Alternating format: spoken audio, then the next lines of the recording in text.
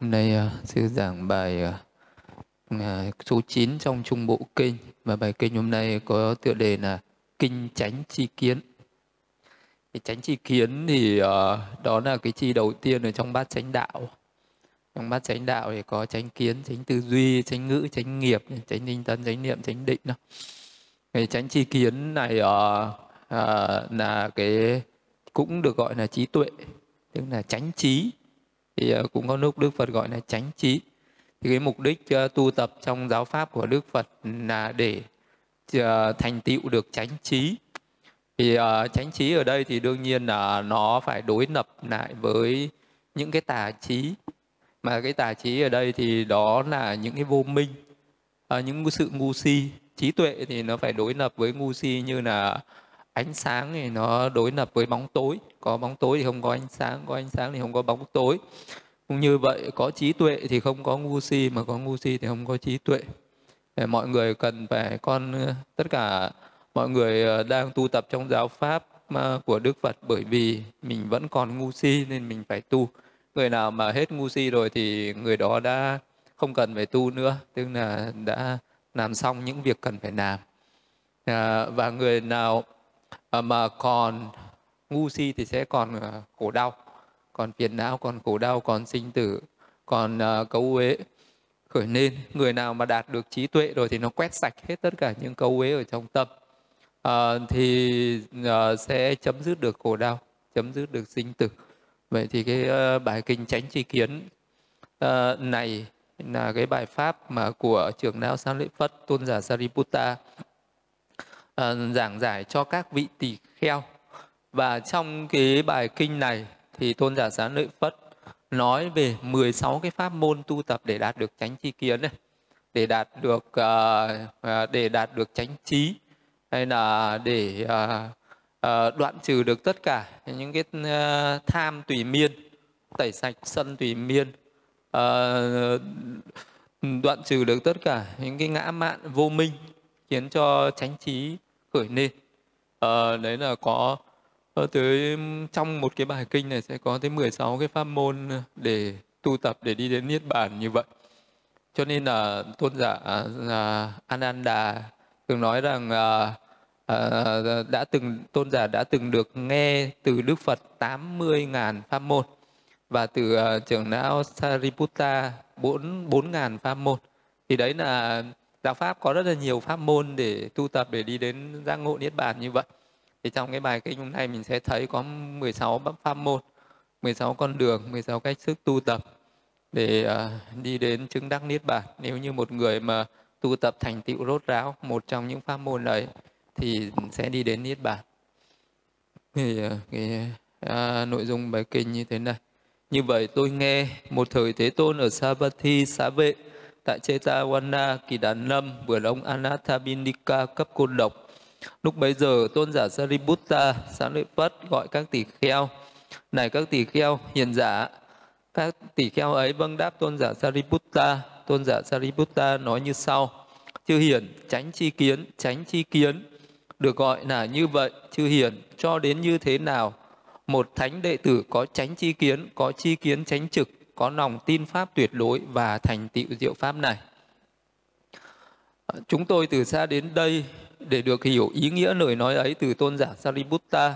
Thật nành thay nếu tôn giả Sariputta giảng cho ý nghĩa lời nói ấy, sau khi nghe tôn giả Sariputta các tỷ kheo sẽ thọ trì. Chư hiền, vậy hãy lắng nghe, hãy khéo tác ý, ta sẽ giảng. Thưa vâng hiền giả, các tỷ kheo ấy vâng đáp tôn giả Sariputta. Tôn giả Sariputta nói như sau chư hiền thánh đệ tử tuệ chi được bất thiện và tuệ chi được căn bản của bất thiện tuệ chi được thiện và tuệ chi được căn bổn của thiện. Chư hiền khi ấy thánh đệ tử có tránh chi kiến có chi kiến tránh trực có lòng tin pháp tuyệt đối và thành tựu diệu pháp này. Chư hiền thế nào là tuệ chi bất thiện và căn bản của bất thiện? Thế nào là tuệ chi thiện và căn bản của thiện? À, sát sanh là bất thiện lấy của không cho là bất thiện tà hạnh trong các dục là bất thiện nói não là bất thiện à, nói chia rẽ phù phiếm là bất thiện nói ác khẩu là bất thiện nói phù à, nói nhảm nhí là bất thiện tham dục là bất thiện sân hận là bất thiện tà kiến là bất thiện chư hiền như vậy gọi là bất thiện à, và chư hiền thế nào là căn bản của bất thiện tham là căn bản của bất thiện sân là căn bản của bất thiện si là căn bản của bất thiện chư hiền như vậy gọi là căn bản của bất thiện và này chữ hiền thế nào là thiện? Từ bỏ sát sanh, từ bỏ lấy của không cho, từ bỏ tà hạnh trong các dục, từ bỏ nói náo, nói hay lưỡi, từ bỏ nói ác khẩu, từ bỏ nói lời phù phiếm ờ, không tham dục, không sân hận ờ, không tà kiến, là thiện. Chư hiền như vậy gọi là thiện. Ờ, thế nào là căn bản của thiện? Đó là vô tham là căn bản của thiện, vô sân là căn bản của thiện, vô si là căn bản của thiện chư hiền như vậy gọi là căn bản của thiện. Khi nào vị thánh đệ tuệ tuệ chi được bất thiện như vậy tuệ chi được căn bản của thiện như vậy. Tuệ uh, chi uh, uh, khi ấy vị ấy đoạn trừ tất cả tham tùy miên tẩy sạch sân tùy miên nhổ tận gốc rễ kiến mạn tùy miên tôi nà. Đoạn trừ vô minh khiến minh khởi lên như uh, diệt tận khổ đau ngay trong hiện tại chư hiển như vậy thánh đệ tử có tránh chi kiến có chi kiến tránh trực có lòng tín pháp tuyệt đối và thành tựu diệu pháp này. Đó là hết một pháp môn thứ nhất. Và khi nào mà mình à, tu tập thành tựu được cái pháp môn này thì sẽ đoạn trừ hết tất cả vô minh tham ái đoạn trừ hết tất cả cấu uế khổ não và chấm dứt sinh tử đạt được nậu tận. Tức là sẽ trở thành một bậc a la hán đây là một pháp môn. À, đây là một con đường đây là một cái phương pháp tu tập. À, rất là đơn giản ngắn gọn như thế thôi một pháp môn đấy. Ờ, và hãy tu tập theo một pháp môn này là đủ. Để có ai tu tập được. Nghe thì uh, rất là dễ dàng. Nhưng mà để mà thành tựu được cái pháp môn này lại cũng không phải là dễ. Ờ, thì đây là uh, tôn giả sáng lợi phất nói về 10 điều uh, ác và 10 điều thiện. Tức là trong này hay nói về thập thiện đấy. Thì đối lập lại với 10 uh, cái thập thiện đấy là 10 cái ác à, thì trong này nói về ba nghiệp của thân bốn nghiệp của khẩu và ba nghiệp của ý. Thì ba cái nghiệp ác ở thân là sát sinh trộm cắp tà dâm. À, đoạn trừ được nó thì nó sẽ thành ba nghiệp thiện. À, ba bốn nghiệp ở khẩu à, nói dối nói chia rẽ nói ác khẩu nói phù phiếm. À, ba nghiệp ở ý tham dục sân hận tà kiến. Đấy là 10 cái ác. Thì à, thế thì bây giờ ở đây nói là khi nào vị thánh đệ tử đệ tử tuệ chi được tuệ chi được bất thiện và tuệ chi được căn bản của bất thiện. À, bây giờ cho mình học một cái bài về à, thập thiện à, thập ác này thì chỉ nghe nghe quay qua một chút thôi là sẽ là sẽ sẽ ghi nhớ được sẽ thuộc lòng. Và để mà hiểu thì cũng không khó. À, để mà hiểu được thế nào là thiện thế nào là bất thiện thì không khó. À, ai cũng mình cũng đủ khả năng để hiểu được nhưng mình có đoạn được tham tùy miên không? Tẩy sạch được sân tùy miên không? Nhổ tận gốc rễ kiến mạn tùy miên ngã mạn à, diệt được à, vô minh. Minh sinh khởi. Minh ở đây à, thành tựu được chánh trí. À, mà nếu mà cái minh này mà đạt đến cái sự à, rốt ráo là thành tựu được cả tam minh. Diệt tận khổ đau ngay trong hiện tại tức là trở thành một bậc nậu tận ngay trong đời này. À, chấm dứt sinh tử luân hồi ngay khi mình tuệ chi được. Vậy thì cái thực hành cái ở đây đây mới chỉ là trên lý thuyết thôi. Nhưng cái vấn đề là cần phải thực hành để quan sát để tuệ chi được uh, trên uh, các cái pháp uh, bất thiện và thiện này. Thì bây giờ uh, cái sự tu tập đấy để mà đoạn trừ được những cái, cái bất thiện ở thân uh, sát sinh trộm cắp tà dâm thì giữ giới thọ trì giới là là được rồi à, nói dối nói hai lưỡi nói ác khẩu nói phù phiếm thì cũng là nằm ở trong cái thọ trì đã tập được à, à, cái những cái nỗi nằm ở thân ở khẩu rồi. À, được và à, không à, tham dục không sân hận không tà kiến thì cần phải tu tập thiền chỉ thiền quán nữa. Thì cái này à, nói là phải tuệ chi được các cái pháp bất thiện căn bản của các pháp bất thiện nó là tham là căn bản của bất thiện sân là căn bản của bất thiện và si là căn bản của bất thiện. Tức là cái nhân, nó sinh ra những cái pháp bất thiện này. Khi có tham thì mình mới sát sinh trộm cắp tà dâm, nói dối, uống rượu à, và làm những cái bất thiện đấy. Hoặc là từ sân, nó khởi lên, mình mới làm những cái ác nghiệp ở thân, ở khẩu ạ. Hoặc là từ tà kiến à, cho rằng không có nhân quả, không có tội lỗi thì mình làm những cái điều đó. Thì cái này tuệ chi được nó, thì cái người đấy cần phải phân biệt ra được những cái tâm tâm sở của các cái tâm thiện này và những cái tâm bất thiện. Ví dụ như là bây giờ muốn phân biệt được tâm uh, tham thì uh, vị này cần phải uh, phải thực hành uh, thành tựu được thiền tứ đại trước. Vì này phải phân tích ra được các cái sắc uẩn nó ở trên sáu căn. Mà mắt tai mũi lưỡi thân ý tất cả các cái sắc thực sắc không thực đó. Rồi uh, vì đó hướng tâm lấy cái sắc một cái sắc pháp nào đấy làm đối tượng rồi khởi lên cái phi như lý tác ý uh, rằng sắc này là uh, thường sắc là nạc sắc là ngã sắc là tịnh. Thì khởi lên bốn cái một trong bốn cái phi như lý tác ý ấy thì những cái tâm bất thiện về tham này nó mới khởi lên. Cho nên là nếu mà phân tích chi tiết ra thì nó có tám tâm tham uh, hai tâm sân hai tâm si. Nếu mà khởi lên uh, tùy theo cái tác ý của cái vị đó rồi khi là vị đó phân tích ra các cái tâm tham đó thì là nó có uh, bảy cái cái tâm biến hành như là xúc thọ tưởng tư nhân hành mạng quyền tác ý. Nó có sáu cái biệt cảnh tầm thứ thắng giải cần hỷ dục. Nó có bốn cái biến hành tâm bất thiện si vô tàm vô quý phóng dật. Và nó có cái tâm sở tham tâm sở tà kiến. À, thì đấy là tham tà kiến. Đôi khi cái tâm tham đấy là tự mình khởi lên đôi khi do người khác xúi dục đôi khi nó tham nó đi với cái tâm hỉ đôi khi nó không có tâm hỉ. Đôi khi cái tâm tham ấy nó đi với ngã mạn à, đôi khi tham ấy nó đi với tà kiến. Thì đấy mới là tuệ chi được những cái tâm tham là một trong uh, các tâm bất thiện. Vậy uh, mà tính chi tiết ra thì nó có tám tâm tham. Vậy thì ừ, tính chi tiết chi tiết ra vậy rồi cả tâm tâm sở. Nó có số lượng tâm 20 tâm đôi khi mà có sự xúi dục nó có hôn trầm tuệ miên 22 tâm thì đấy mới là tuệ chi được tâm. Vậy thì cái người đấy phải tuệ chi ra được sắc uh, uẩn rồi mới tuệ chi ra được các cái tâm tâm sở. Đấy mới gọi là tuệ chi. À, còn mình uh, học thì mình chỉ gọi là thức chi đấy thì không thể đoạn trừ được tham. Sân si và không thành tựu được chánh trí không thành tựu được chánh chi kiến chi kiến chánh trực. À, có lòng tin tuyệt đối thành tựu được cái diệu pháp này mà phải tuệ chi vậy vậy tức là tuệ chi được danh sắc là như vậy. À, rồi à, à, tuệ chi cái tâm sân ấy, thì vị đấy cũng phải à, phân tích ra được các cái sắc uẩn ở sáu căn. Rồi sau đó vị đó hướng vào cái sắc đấy rồi tác ý. Cái sắc này là xấu quá hay là uh, xâm uh, ghen tị. Uh, sắc này uh, uh, mình mà uh, ghen tị khi thấy người sắc người khác đẹp hơn. Uh, rồi tâm uh, bỏn sẻn cũng là sân à, mong rằng ờ, không ai có sắc đẹp như mình. Sân hối hận. À, tại sao là à, mình lại à, à, sinh ra? Ví dụ như tại sao đến bây giờ mình mới phân biệt được sắc hay tại sao mình còn ở trong sinh tử đến bây giờ mà không tu tập từ lâu ngày?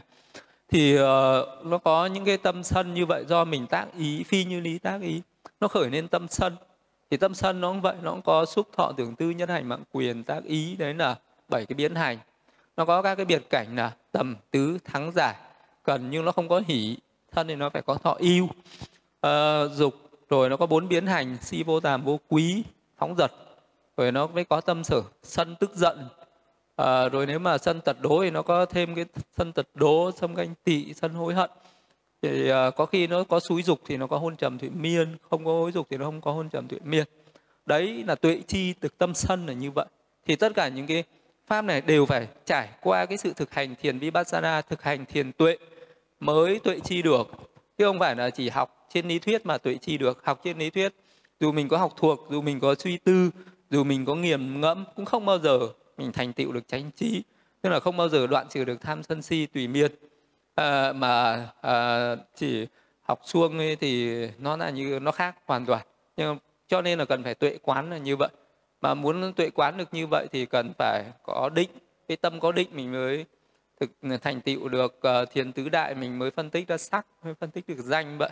Ở cả sáu căn ờ, trên mình thôi bên trong bên ngoài quá khứ tương lai là mình phân tích ra vậy.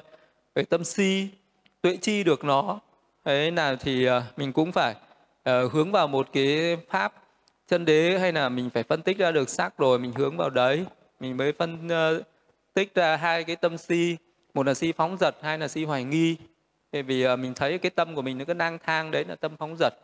Thì nó có tâm sở biến hành à, đó là xúc thọ tư nhân hành mạng quyền tác ý. Rồi nó có tâm biệt cảnh tâm tứ thắng giải. Uh, cần uh, uh, dục nó không có hỉ.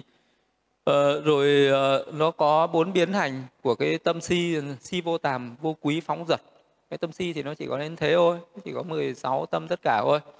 Uh, si hoài nghi thì uh, nó mình khởi lên một cái nghi ngờ về những cái sự thật cái nghi ngờ về các pháp chân đế. Đây không biết có phải là gọi sắc ờ, danh không? Nghi ngờ Phật pháp tăng những cái sự thật ấy, thì nó sinh lên tâm hoài nghi. Thì nó cũng tương tự như thế. Uh, tâm hoài nghi thì nó không có cái tâm thắng giải. Uh, thì uh, nó uh, sẽ cũng là si vô tàm vô vô quý phóng dật và nó có thêm cái tâm hoài nghi. Thì uh, đấy là mình mới tuệ chi thì phải tuệ chi ra được cả cả cái tâm uh, và tâm sở. Và những cái nó phải mà muốn có thấy được tâm tâm sở này mình phải phân tích ra được sắc ở các căn. Uh, thì nó phải nương vào các sắc ở các căn thì nó mới sinh ra được tâm. Thì đấy mới là tuệ chi. Vậy tuệ chi ở đây là phải hành thiền quán phân tích danh sắc mới là tuệ chi còn nếu mình không phân tích ra được danh sắc không gọi là tuệ chi dù mình có hiểu trên uh, lý thuyết dù mình có thể uh, biện luận dù mình có thể uh, uh, uh, giảng uh, diễn đạt những cái hiểu biết của mình uh, về uh, những cái thiện và căn bản của thiện uh, cái bất thiện và căn bản của bất thiện này. Dù mình có chứng tỏ rằng mình có hiểu sâu xa hiểu sâu sắc hiểu quảng đại hiểu rộng lớn bao nhiêu đi chăng nữa nhưng mà mình không có thực hành tiền quán không tuệ chi ra được uh, những cái, cái danh uh, uh, cái tâm tâm sở của các cái tâm bất thiện này và các cái sắc pháp của nó thì không bao giờ thành tựu được chánh trí. Vì đấy mới gọi là thành tựu chánh trí. Rồi sau đó mới quán cái nhân duyên của nó.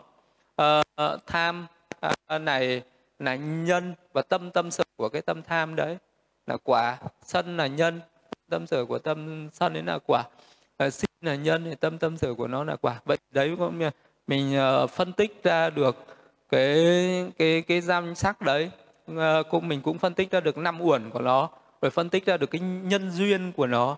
Rồi mình thấy uh, nhân này nó sinh diệt thì quả nó sinh diệt. Cho nên hiểu ra được cái tính sinh diệt của nó. Hiểu ra tính sinh diệt của nó mình thấy được sự vô thường của nó. Thấy được sự vô thường thì mới thấy được cái sự khổ trên vô thường đấy. Thấy được cái sự khổ trên vô thường thì mới thấy được cái sự vô ngã trên khổ. Để quán được cái sự vô thường khổ vô ngã đến khi mà à, mình thể nhập với nó thì mới thành tựu chánh trí. Đấy mới là thành tựu chánh trí. Mới tẩy sạch được sân tham uh, sân si mới diệt trừ được vô minh uh, làm cho minh khởi lên mới thành uh, tựu được cái lòng tin tuyệt đối ờ, ở trong giáo pháp mới thành tựu được diệu pháp. Thì đến các cái tâm uh, thiện và căn bản của thiện cũng thế từ bỏ sát sinh trộm cắp tà dâm nói dối. Uống rượu đấy thì đấy là những cái tâm uh, thiện. Từ bỏ tham sân si là tâm thiện. Còn căn bản của thiện là vô tham vô sân vô si. Thì cái lúc đấy vị đó sẽ phân tích ra được những cái tâm căn bản của tâm thiện. Ví dụ như là trong một cái lúc mình đang khởi lên cái ý muốn sát sinh nhưng mà lúc đấy mình uh, đã cố tình dừng lại cái ý không sát sinh đấy thì ngay cái lúc mình cố tình dừng lại cái tâm không sát sinh đấy nó thành tựu ra được một cái tâm đại thiện dục giới.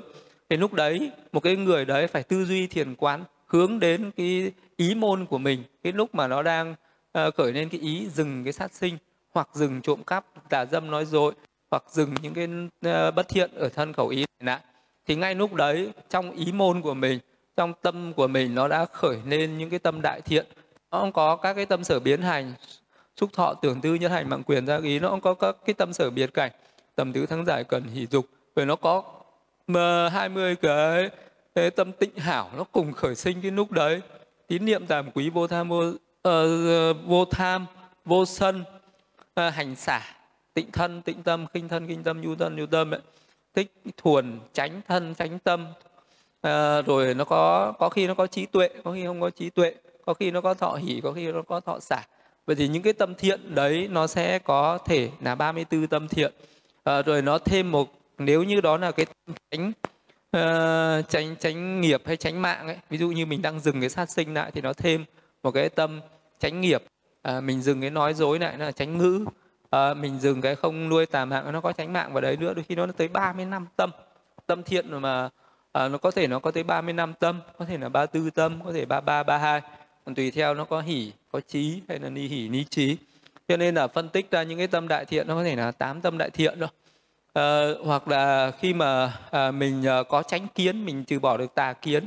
Ờ, ví dụ lúc đấy mình phân tích ra được sắc ở sáu căn mình hướng vào một cái sắc đấy mình có như lý tác ý mình quán sắc mình tác ý là sắc này là vô thường là khổ là vô ngã là tịnh nó là sắc pháp. À, nó là à, nhãn tịnh sắc nhĩ tịnh sắc tỷ thiệt thân tịnh sắc thì lúc đấy là như lý tác ý. Thì lúc đấy nó có cái tâm đại thiện dục giới nó khởi lên. Nó có thể là à, ba tư tâm. Nếu nó có hỷ có trí có khi nó ni hỉ có khi là nó ni trí à, ờ, thì có khi nó ba hai có khi nó là ba ba. Thì uh, đấy là những cái tuệ chi được cái tâm thiện là thế. Uh, rồi mình mới tuệ chi ra được cái căn bản của thiện. Uh, rồi mình mới tuệ chi được cái tính duyên khởi của nó đó là à, vô tham là nhân rồi tâm tâm sở. Và các cái sắc do tâm sinh đấy là quả vô sân này là nhân. À, tâm tâm sở và sắc do cái tâm sinh là quả vô si là à, vô si là trí tuệ. Tuệ là nhân tâm tâm sở sắc do tâm sinh là quả. Tức là lúc đấy vị đó phải à, dùng cái thiền tuệ thiền quán thiền vipassana của mình để phân tích ra được các cái tâm tâm sở các cái sắc uẩn này à, rồi quán cái tính duyên khởi của nó tính nhân duyên của nó thì này nó có sáu nhân. À, ba nhân về ờ, tâm bất thiện tham sân si và nó có ba nhân của tâm thiện vô tham vô sân vô thi. Rồi lúc đấy mình mới thấy được cái tính à, do nhân sinh cho nên quả sinh. Nhân diệt thì quả diệt nhân sinh diệt nên nó là vô thường. Quả sinh diệt nên nó là vô thường. Thì mình mới thấy được khổ trong vô thường cái vô ngã ở trong khổ. Tuệ chi như vậy quán sát như vậy à, thì lúc đấy cái vị đấy mới à, mới có thể à, đoạn trừ được tham tùy miên tẩy sạch sân tùy miên nhổ tận gốc rễ tà những cái kiến à, mạn tùy miên cái ngã mạn tôi nà à, và đoạn trừ được vô minh khiến cho trí tuệ khiến cho minh khởi lên à, diệt tận khổ đau ngay trong hiện tại. À, như vậy vị ấy mới là vị có tránh chi kiến có chi kiến tránh trực có lòng tin pháp đối và thành tựu diệu pháp này. Đấy là con đường thứ nhất đấy là pháp môn thứ nhất. Thì thực hành theo cái con đường thập thiện này thập ác này. Nhưng mà không phải là mình chỉ học mà phải, phải thực hành thiền tuệ thiền quán à, phân tích ra được các cái pháp uh, uh, chân đế của nó thì sẽ thành tựu được chánh trí. Đấy là pháp môn thứ nhất. Rồi uh, các hiền giả tỳ kheo các vị tỳ kheo uh, lại hỏi tôn giả sáng lợi phất tiếp. Uh, nành thay hiền giả các tỷ kheo ấy sau khi hoan hỷ tín thọ lời tôn giả Sariputta và hỏi thêm tôn giả Sariputta câu hỏi như sau. Này hiền giả có thể có pháp môn nào khác nhờ pháp môn này? Vị thánh đệ tử có chi có tránh chi kiến có chi kiến tránh trực có lòng tin pháp tuyệt đối và thành tựu diệu pháp này. Để tôn giả sáng lợi phất trả lời rằng chư hiền có thể có à, khi nào vị thánh đệ tử tuệ chi thức ăn tuệ chi tập khởi của thức ăn tuệ chi đoạn diệt của thức ăn tuệ chi con đường đưa đến đoạn diệt thức ăn thì ờ, vị ấy có tránh chi kiến có tránh chi kiến tránh trực có lòng tin pháp tuyệt đối và thành tựu diệu pháp này. Thế nào là tuệ chi thức ăn? Tập khởi của thức ăn đoạn diệt của thức ăn và con đường đưa đến đoạn diệt thức ăn. Thì này chư hiền có bốn loại thức ăn khiến cho các loài chúng sinh đã được sinh an trú và các loài hữu tình sẽ xanh được hỗ trợ cho xanh thế nào là bốn? Một là đoàn thực à, những cái thức ăn loại thô hay là loại tế. Hai là xúc thực. À, à, ba là tư niệm thực là thứ ba và thức thực là thứ tư. Đấy là bốn loại thức ăn. Từ tập khởi của ái có tập khởi của thức ăn từ đoạn diệt của ái có đoạn diệt của thức ăn và thánh đạo tám ngành. Ờ, à, tránh kiến tránh tư duy tránh ngữ tránh nghiệp tránh tinh tấn tránh niệm tránh định. À, này Ờ, là con đường đưa đến để đoạn diệt thức ăn. Khi nào vị thánh đệ tử tuệ chi như vậy thì vị ấy có tránh chi kiến có chi kiến tránh trực. À, vị ấy sẽ nhổ à, được tất cả đoạn trừ được tham tùy miên tẩy sạch sân tùy miên nhổ tận gốc lễ kiến mạn tùy miên đoạn trừ được vô minh khiến minh khởi lên diệt tận khổ đau ngay trong hiện tại. Và vị ấy thành tựu được lòng tin tuyệt đối uh, với diệu pháp này thì đấy là, đây là một cái pháp môn thứ hai. Một cái pháp môn này, nếu mình y chỉ theo pháp môn này, tu tập theo pháp môn này, cũng sẽ thành tựu được chánh trí, cũng chứng ngộ được niết bàn, cũng đoạn tận khổ đau, cũng diệt được hết tất cả vô minh lậu hoặc. Và đi à, đến niết bàn, ngay trong hiện tại này. Vậy thì cái pháp môn thứ hai là để đạt được tránh ờ, chi kiến này, đó là ờ, tuệ chi về thức ăn, tuệ chi tập khởi của thức ăn. Thì có bốn loại thức ăn, đoàn thực, thức thực, xúc thực, tư niệm thực đoạn thực là cái thức ăn mà mình ăn hàng ngày ấy. mình ăn hàng ngày. À, mà ăn thì quá biết thì gì nữa. Ngày nào mình chả ăn món này món kia. À, cơm canh đó ngày nào cũng ăn. Nhưng đấy có phải là tuệ chi không? Đấy không phải là tuệ chi thức ăn được. Tuệ chi là khác. Tuệ chi khi nào mà mình phải thực hành cũng phải phân tích ra được sắc pháp.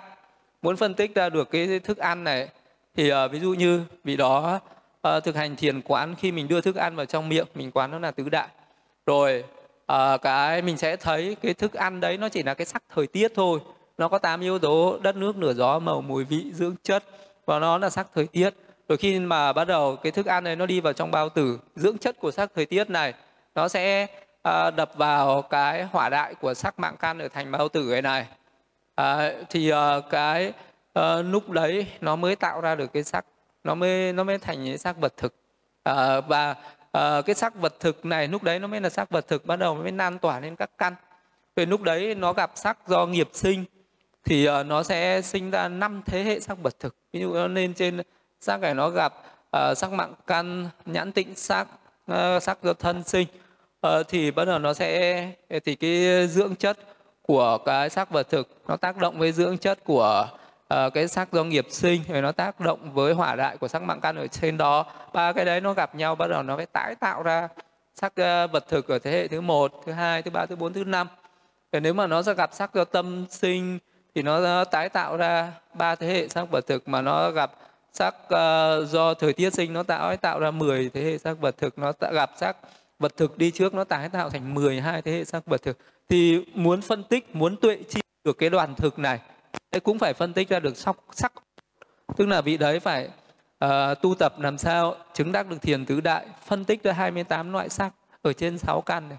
Thì bắt đầu mới tuệ chi được các cái sắc này nó cần phải được nuôi dưỡng bằng thức ăn.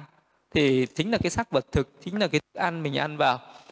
Này rồi là bắt đầu nó mới uh, thành những cái dưỡng chất nó nuôi dưỡng uh, sắc do nghiệp sinh sắc cho tâm sắc thời tiết sắc vật thực. Vậy tuệ chi thức ăn có nghĩa là tuệ chi tất cả các cái sắc uẩn tuệ chi tất cả các cái sắc pháp thấy sự vận hành thấy sự tập khởi của nó. Uh, thì lúc đấy mình mới uh, mới quán được cái uh, thực là nhân mà sắc uh, các cái uh, dưỡng rồi các cái sắc mà được vật thực này nuôi dưỡng thì bắt đầu mới tuệ chi được cái tánh nhân duyên của nó uh, mới hiểu ra được là tất cả những cái sắc thân của mình có tồn tại được là nhờ có thức ăn. Cái thức ăn nó chỉ nuôi dưỡng cái sắc thân này nhưng mà mình chỉ có cái thân này mà không còn mà cũng chưa đủ mà nó còn có một cái loại thức ăn nữa là uh, ờ, xúc thực tư niệm thực và thức thực. Uh, xúc là cái gì? Xúc ở đây là các căn mình nó tiếp xúc với các cái trần cảnh. Ví dụ mắt nó tiếp xúc với sắc tai tiếp xúc với âm thanh mũi tiếp xúc với hương lưỡi tiếp xúc với vị uh, thân uh, tiếp xúc với những cái vật chất ý tiếp xúc với các pháp. Uh, lúc nào mình cũng phải có cái sự tiếp xúc này mới tồn tại. Không có sự tiếp xúc này là sẽ không tồn tại. À, chính vì à, nếu như mà à, tại sao mà mình cứ thích là đi xem những cái cảnh đẹp đấy là con mắt mình nó đói nó đói cảnh sắc nó đói nó cần phải đi tiếp xúc. À, tai của mình nó thích nghe cái này nghe cái kia đấy là nó phải có tiếp xúc để nó mới nuôi dưỡng được cái tâm hồn nuôi dưỡng được cái ý thức đó mũi tiếp xúc với hương lưỡi phải tiếp xúc với vị, ăn cái này, nhưng hôm chỉ ăn vài hôm nó chán, nó phải thay đổi cái khác. Bởi vì là chính là đấy là cái sự đòi hỏi của cái sự tiếp xúc. Con mắt mình vẫn nó nhìn một cái cảnh lâu ngày nó chán, nó lâu lâu nó phải thay đổi cảnh phải đi nó ngắm nhìn những cái cảnh mới. Thì đấy là cái thức ăn của nó mà. Nó tham ái tham ái với cảnh sắc. Cho nên nó cái người nào càng ái nhiều thì người ta càng muốn tiếp xúc nhiều, người ta càng muốn cái cảnh nhiều. Người nào mà ái âm thanh nhiều thì người ta phải muốn thay đổi những cái âm thanh nhiều ái mùi thì người ta thay đổi mùi nhiều ái vị thì người ta thay đổi món ăn ái xúc thì người ta thay đổi quần áo nhà cửa uh, xúc chạm thân thể uh, với những cái vật chất ở bên ngoài. Uh, còn ái pháp thì người ta uh, xúc uh, người ta ngồi người ta tư tưởng lại người ta xúc chạm với những cái năm ấy cảnh đó. Đó là uh, xúc thực tư thực tư ở đây có nghĩa là cái những cái cái hành động tạo nghiệp tạo nghiệp ở thân khẩu ý. Thế là cái cuộc sống của ờ, một chúng sinh tồn tại được là giờ có nghiệp, khi nào nghiệp còn thì vị đó sẽ còn ờ, còn tồn tại, nghiệp hết thì vị đó sẽ hết. Ví dụ như có những người ờ, người ta sống chưa hết tuổi thọ, mới được 10 tuổi 20 tuổi, nhưng người ta hết cái nghiệp rồi, người ta phải chết. Chứ nếu người ta có những cái người thì người ta sống đến hết tuổi thọ nhưng chưa hết nghiệp, có thể người ta sẽ sống lâu hơn tuổi thọ một chút à, đáng lẽ chỉ sống được 7 80 tuổi thôi người ta sống thêm 100 tuổi 120 tuổi. Đấy, do cái nghiệp uh, của họ để sinh lại cõi người này rất là mạnh nên họ sống lâu hơn. Còn có những người chết là do hết nghiệp có thể là hết tuổi thọ hết cả tuổi thọ lẫn nghiệp. Có khi là bị ờ, chết oan thì đấy nó nằm ngoài cái cái điều uh, tư này. Vậy thì bây giờ uh, một cái người uh, hàng ngày là mình không tạo nghiệp này thì tạo nghiệp khác đối với một người còn tham ái thì uh, mình uh, tạo một cái nghiệp gì nó không có dính mắc với cái nghiệp đấy. Ta đang làm này ta đang làm cái kia. Mình cố ý làm một việc thiện thì đó là mình đang tạo một cái thiện nghiệp để sau này mình sẽ tồn tại được ở một cái cõi an lành lâu dài. Mình tạo một cái ác nghiệp là mình đang tạo cái nhân để sau này mình tồn tại ở một cái cõi khổ đau lâu dài. Thì đấy là tất cả những cái những cái thiện nghiệp và ác nghiệp. Đấy nó là cái sự duy trì cái mạng sống của mình ở cõi khổ hay là cõi này.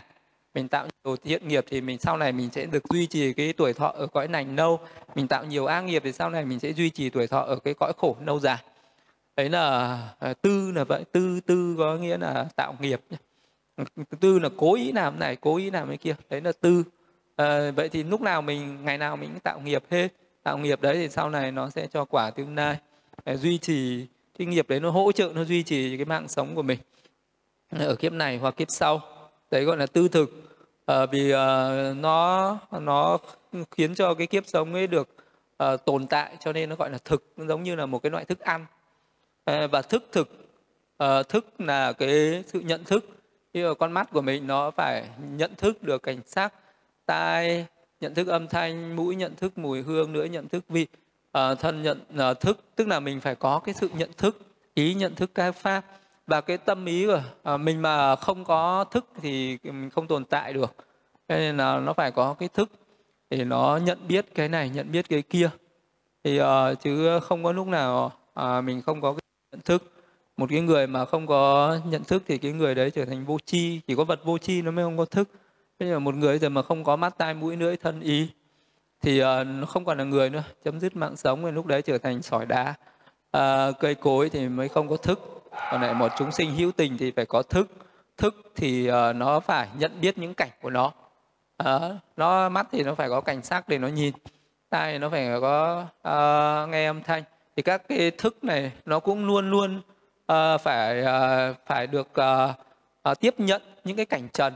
Các cái căn nó phải luôn luôn tiếp nhận các cái cảnh trần ở bên ngoài. Uh, chính vì vậy cho nên là nó được tồn tại. Cho nên nếu mà thức mà nó không có cảnh để nó nhận biết thì nó sẽ chết nó sẽ tồn tại cho nên là uh, có những cái tư tưởng cái quan niệm cho rằng là tâm nó không trụ vào đâu nó không bám vào đâu. Đấy là cái uh, những cái những cái pháp tà kiến không hiểu gì về cái tâm thức. Uh, còn uh, cái pháp của đức phật dạy thì lúc nào tâm thức nó cũng phải có đối tượng không chú vào cái này nó phải chú vào cái kia. Uh, thì nó phải luôn luôn phải có cảnh để nó sinh khởi nó sinh con người mà không có thức này không uh, thì không thể tồn tại được. Không có chỉ trừ khi bị một vị uh, thánh bất nai hoặc là một cái vị uh, thánh a la hán nhập vào cái thiền diệt uh, diệt tận thọ định thì mới không có thức. Uh, nhưng còn lại thì lúc nào chúng sinh phải có thức hoặc là chúng sinh ở cái cõi vô tưởng. Uh, thức thì chỉ tạm ngưng nghỉ. Uh, còn lại một cái vị nhập niết bàn rồi thì mới hết thức. Còn lại một chúng sinh hữu tình thì lúc nào nó cũng phải có thức. Loại nào cũng có thức hết thì uh, vì có thức cho nên là nó mới còn tồn tại được cái mạng sống.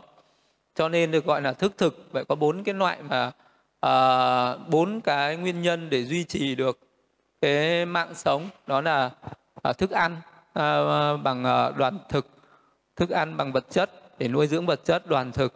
Còn uh, ba cái thức ăn thuộc về tinh thần để nuôi dưỡng tí, uh, nuôi dưỡng cái tinh thần này nữa đó là thức thực uh, xúc thực tư niệm thực. Đấy là bốn loại thức ăn từ tập khởi của ái có tập khởi của thức ăn từ đoạn diệt của ái có sự đoạn diệt của thức ăn.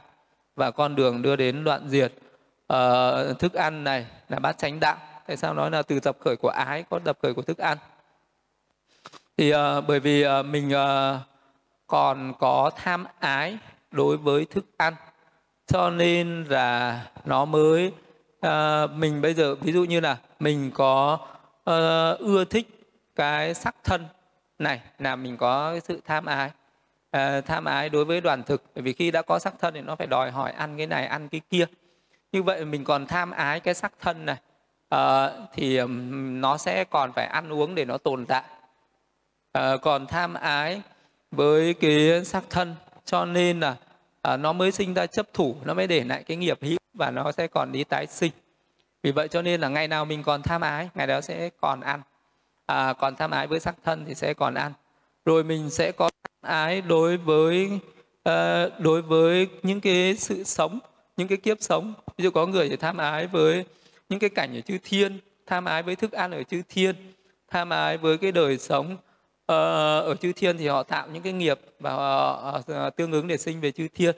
Có người tham ái với cái thân nam muộn ở cõi người thì tạo những cái nghiệp để sinh về mầm cõi người có người tham ái đối với những cái cảnh dục giới có người tham ái với cảnh sắc giới vô sắc giới. Vậy tức là ngày nào còn tham ái thì cái thì à, nó sẽ còn để lại cái nghiệp lực để cho à, mình uh, còn duy trì cái thân tâm này còn duy trì lại uh, bốn cái loại thức ăn này đoàn thực thức thực xúc thực tư niệm thực. Thì nói là mình chia ra như thế nhưng nó cũng là thân và tâm nó cũng là danh và sắc chứ nó không là cái gì khác cả.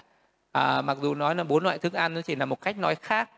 À, để mà nói rằng chúng sinh còn duy trì còn tồn tại ở trong cái vòng luân hồi tái sinh này là do mình còn tham ái bốn cái thứ này tham ái đối với thức ăn à, bằng vật thực tham ái ờ, với cái sự à, à, nhận thức tham ái đối với cái sự tiếp xúc giữa các căn với các trần và tham ái đối với những cái hành động tạo nghiệp của mình. Tham ái với hành động tạo nghiệp là khi mình làm cái việc gì mình uh, tôi làm việc này uh, mình uh, làm việc thiện thì mình nghĩ là có cái tôi mình có cái tham ái cái tôi thì nó sinh ra chấp thủ ở trong cái công việc đó. Uh, đấy là tham ái về thực tham ái về thức. Uh, mình uh, thấy cái gì mình tôi thấy cái này hay là mình học được cái gì mà tôi đây là cái học thức của tôi đây là cái hiểu biết của tôi đây là những cái thấy của tôi chi kiến của tôi thì mình luôn luôn có cái tôi có cái tham ái với những cái sự hiểu biết cái sự uh, nhận thức của mình. Đấy là tham ái về thức tham ái về xúc. Đó là mình, tôi uh, tiếp xúc với cảnh này cảnh kia. Đấy là nó có tham ái về uh, cái sự tiếp xúc với các cái cảnh trần cảnh đẹp cảnh xấu. Uh, rồi tham ái với lại thức ăn. Thì đấy là có cái sự tham ái này. Uh, tham ái uh, thì nó mới thì nó sẽ còn thì mình sẽ còn duy trì cái, luân hồi sinh tử này lâu dài. Tức là nói là bởi vì uh, nó còn có thức ăn đoàn thực thức thực xúc thực tư niệm thực. Có nghĩa là mình sẽ còn duy trì cái sự hiện hữu sinh như ở cõi này hoặc là cõi khác. Nếu mà ngày nào mình còn tham ái thì uh, có sắc ái thanh ái hương ái vị ái xúc ái pháp ái tham ái ở các cái cảnh ở các căn hoặc là tham ái với sắc với thanh với hương với vị à, tham ái với sắc thọ tưởng hành thức hoặc là tham ái với uh, thức ăn tham ái với đoàn thực thức thực xúc thực tư niệm thực. Tức là um, uh, có thể diễn đạt cái tham ái này theo khía cạnh nào cũng được. Uh, thì bây giờ mình hiểu cái nhân để uh, mình uh, sinh ra bốn cái thức ăn này hay là sinh ra cái danh sắc này cái năm muộn này là do tham ái mà sinh ra. Thì cái vị đó sẽ phân tích ra được bốn loại thức ăn cũng có nghĩa là vị đó phân tích ra được danh và sắc. Danh uẩn và sắc uẩn. À, sắc uẩn à, là do mình phân tích ra cái thức ăn đấy rồi còn danh uẩn thì là mình phân tích đưa ra được các cái sức uh, thức xúc thọ tưởng tư nhất hành bằng quyền tác ý tức là phân tích ra được các tâm tâm sở. Uh, là tâm thiện tâm bất thiện cũng giống như là ở cái phần tuệ chi tâm thiện tâm bất thiện vậy thì đây có nghĩa là mình tuệ chi được ra các tâm thiện tâm bất thiện tâm dục giới sắc giới vô sắc giới. Thì đấy là mình tuệ chi ra được thức. Thức nó không đi một mình thì nó phải đi với xúc với thọ tưởng tư à, hay là thì tất cả những cái đấy nó phải cùng với nhau. Tâm và tâm sở ấy nó đi cùng với nhau. Vậy thì phân tích ra được tám tám chín tâm vương năm hai tâm sở tức là các tâm và tâm sở. Đó cũng là mình phân tích ra được uh, xúc thực thức thực và tư niệm thực. Rồi sau đó mới uh, quán cái tính duyên khởi của nó. Tại sao mà mình mới có cái thân uh, sắc thân này? Tại sao mình lại có thức này? Tại sao có xúc này? Tại sao mình lại có cái tư này? Uh, thì lúc đấy ừ, mà mình phải tìm ra được cái nguyên nhân của nó. Bằng cái cách là quán cái duyên khởi có thể là mình hướng bằng quán thì có thể là mình hướng về cái thời điểm cận tử ở kiếp trước. Ừ, thấy nó có cái vô minh tham ái chấp thủ hành nghiệp ở đấy. Thì lúc đấy mình thấy tham ái này nó sinh nên không bao giờ nó sinh một mình nó phải đi sinh cùng với vô minh. À, tham ái này nó do vô minh ảo tưởng. Cái vô thường cho là thường à, cái khổ cho là cái vô ngã cho là có ngã cái bất tịnh cho là tịnh nó mới sinh ra tham ái. Vậy thì vô minh là cái ảo tưởng nó sinh ra tham ái. Tham ái mạnh quá nó thành ra chấp thủ. À, chấp thủ mạnh quá thì những cái hành động là những cái nghiệp hữu thì đấy là mình thấy được cái nhân đấy là vô minh tham ái chấp thủ đấy hành nghiệp đấy là nhân. Mà những cái sắc thân này là quả. Những cái tham ái đấy là nhân. Mà thức này nó là quả à, xúc này là quả à, tư này là quả. À, thì đấy nó cũng là một cái cách tuệ chi nhân quả. Vậy thì khi nhân sinh thì quả sinh khi nhân diệt thì quả sẽ diệt. Tham ái sinh thì đoàn thực thức thực xúc thực tư thực này mới sinh. Khi tham ái diệt thì đoàn thực thức thực xúc thực tư thực này nó cũng diệt thấy ra được cái tính sinh diệt của nó thì thấy được sự vô thường thấy ra được cái khổ trên vô thường thấy ra được cái vô ngã trên khổ. Thì lúc đấy thì ờ, uh, quan sát như vậy tuệ chi như vậy thể nhập với chánh trí như vậy thì nó sẽ đoạn diệt được tham tùy miên tẩy sạch sân tùy miên rồi diệt tận gốc rễ kiến mạng tùy miên à, diệt trừ được vô minh làm cho minh khởi lên à, diệt tận khổ đau ngay trong hiện tại. À, khi quan sát quán chiếu tuệ chi như vậy thì mới thành tựu được tránh trí tránh uh, chi kiến chi kiến tránh trực. Có lòng tin tuyệt đối và thành tựu diệu pháp này. Thì đấy là cái sự tuệ nó rất là thâm sâu. Còn là mình chỉ hiểu biết thôi thì nó rất là đơn giản. À, cái pháp môn nó như thế ờ, cái con đường nó tu tập là như thế. Nhưng mà mình chỉ cần tuệ phải mình phải tuệ chi ra được như vậy thì cái con đường thực hành bát chánh đạo tránh kiến tránh tư duy tránh ngữ tránh nghiệp tránh mạng tránh tính tránh niệm tránh định thì đấy cũng là mình muốn có tránh chi kiến như vậy có tránh tư duy như vậy thì mình cần phải thực hành giới. Khi giới mình được viên mãn thì uh, định mới được viên mãn. Khi mà định mà được tu tập viên mãn thì mình sẽ làm cho viên mãn chi kiến này. Thì mình mới tuệ chi ra được những cái sự thật đó tuệ chi ra được đoàn thực thức thực xúc thực tư niệm thực tuệ chi ra được cái tham ái là nhân của nó tuệ chi ra được tính sinh diệt của nó. Rồi mới Ờ, ờ, thể nhập được cái chánh trí đấy. Mình lại viên làm cho viên mãn được cái chánh trí đó. À, viên mãn được chánh trí đó thì giới của mình lại viên mãn định của mình cũng được viên mãn. Thì lúc đấy diệt trừ được vô minh. À, minh khởi nên. À, và vì ấy có chánh chi kiến có chi kiến tranh trực lòng tin tuyệt đối và thành tựu diệu pháp này. Đấy là pháp môn thứ hai. À, mình có thể y trì và pháp môn này y cứ vào pháp môn này theo pháp môn này thì mình sẽ đoạn tận được các cái nậu hoặc chấm dứt khổ đau ngay trong hiện tại. Thế là, hoặc là đấy các vị tỳ kheo lại hỏi tiếp, nành thay hiền giả. Các tỳ kheo ấy sau khi hoan hỷ tín thọ lời tôn giả Sariputta, liền hỏi thêm. Tôn giả Sariputta câu hỏi như sau, này hiền giả, có pháp môn nào khác nhờ pháp môn này? Vị thánh đệ tử có tránh chi kiến, có chi kiến tránh trực, có lòng tin pháp tuyệt đối và thành tựu diệu pháp này chư hiền có thể có chư hiền khi nào thánh đệ tử tuệ chi khổ tuệ chi tập khởi của khổ tuệ chi đoạn diệt của khổ và tuệ chi con đường đưa đến đoạn diệt khổ thì vị ấy sẽ có tránh chi kiến và thành tựu diệu pháp này. À, chư hiền thế nào là khổ ờ, thế nào là tập thế nào là diệt và thế nào là đạo? Sanh là khổ già là khổ bệnh là khổ chết là khổ sầu bi khổ yêu não là khổ cầu không được là khổ à, chấp thủ vào năm muộn là khổ như vậy gọi là khổ à, thế nào là tập khởi của khổ ái đưa đến tái sanh? À, cùng với hỷ dục và tâm hướng đến tái sanh cùng với hỷ dục và tham tìm cầu hỷ nạc chỗ này chỗ kia tức là dục ái hữu ái. À, phi hữu ái như vậy gọi là tập khởi của khổ. Đoạn thế nào là đoạn diệt của khổ? Đó là sự đoạn diệt ni tham không còn dư tàn sự quang bỏ từ bỏ sự giải thoát sự vô chấp khát ái ấy. Chư hiền con đường đưa đến đoạn diệt khổ. Đó là thánh đạo tám ngành tránh chi kiến tránh tư duy tránh ngữ tránh nghiệp tránh mạng tránh tinh tấn tránh niệm tránh định.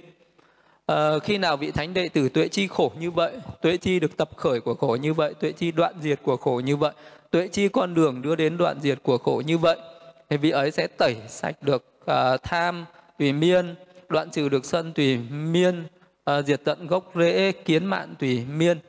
Uh, đoạn diệt được vô minh làm cho minh khởi nên diệt tận khổ đau ngay trong hiện tại và vị ấy thành tựu được tránh kiến, chi kiến chi kiến tránh trực có lòng tin pháp tuyệt đối và thành tựu diệu pháp này. Thì ở đây là con đường thứ ba ờ, pháp môn thứ ba cũng đưa đến đoạn tận các nậu hoặc chấm dứt khổ đau. Thì đó là thực hành theo uh, theo tứ diệu đế theo cái bốn cái sự thật. Thì lúc này về tuệ chi là khổ tập diệt đạo. Uh, sanh già bệnh chết sầu bi khổ yêu não thì uh, ai mình chả thấy một cái người được sanh ra thì ai cũng biết rồi. Già bệnh chết thì ai mình nhìn thấy. Bệnh chết sầu bi cổ yêu não. Trong mình hay ngoài người khác mình không thấy. Cầu bất đắc khổ ái biệt ni cổ oán tăng hội khổ chấp thân là muộn là khổ. Đấy là khổ uẩn. Thì à, mình à, chỉ cần nghe qua là mình sẽ hiểu. Nhưng mình hiểu không chưa đủ mà phải tuệ chi được nó. Tuệ chi khổ. Tuệ chi tập khởi của khổ đoạn diệt khổ là thế nào đây? Tuệ chi khổ ở đây sanh uh, là cái tâm ờ, cái danh sắc núc nó tục sanh ấy. À, muốn uh, muốn uh, tuệ chi được nó không phải dễ. Tuệ chi được nó cũng phải phân tích ra được uh, tứ đại phân tích ra được uh, sắc uẩn ở trên sáu căn phân tích ra được các cái danh pháp. Rồi sau đó mình mới uh, khởi lên phiền não luôn và từ từ đi về cái thời điểm tục sanh mới phân tích ra được à, cái danh ờ, và sắc ở cái thời điểm tục sanh đấy đó mới gọi là tuệ chi sanh. À, tuệ chi già bệnh chết. À, thế thì già bệnh chết mình có thể nhìn thấy bằng mắt nhưng mà đó không phải là tuệ chi. Tuệ chi ở đây mình phải thấy là cái danh và cái sắc à, ở ở trên thân tâm của mình ở sáu căn của mình à, nó sinh lên. Rồi bắt đầu nó có một cái sát na nó ừ, tiến triển nó trưởng thành. Nó có cái sát na à, đó là nó biến dị và nó có cái sát na hoại diệt. Thì mình sẽ tuệ chi được cái sự già bệnh chết trên từng sát na đấy. À, vậy thì không phải là à, bây giờ mình còn trẻ mà mình không có già bệnh chết mà trong cái sắc của mình nó luôn luôn nó có một cái sát na tục sinh đấy nhưng mà những sát na còn lại đó là nó luôn luôn uh, có cái sự trưởng thành có cái sự uh, biến dị có cái sự hoại diệt hoại vong. Vậy tức là nó sinh diệt liên tục trong các cái sát na của sắc uẩn còn danh uẩn của mình là nó có một sát na sinh một sát na trụ và một sát na diệt. Vậy thì đấy là mình phải thấy được trên cái danh sắc như thế thì tuệ chi ra được cái danh sắc như vậy thì đấy mới gọi là tuệ chi sanh à, già bệnh chết rồi uh, chia ra được cái sầu bi khổ yêu não. Sầu bi nó sinh ra khi mình cầu không được thì nó sinh ra sầu. Sầu có nghĩa là cái tâm sân mà tâm của tâm sân.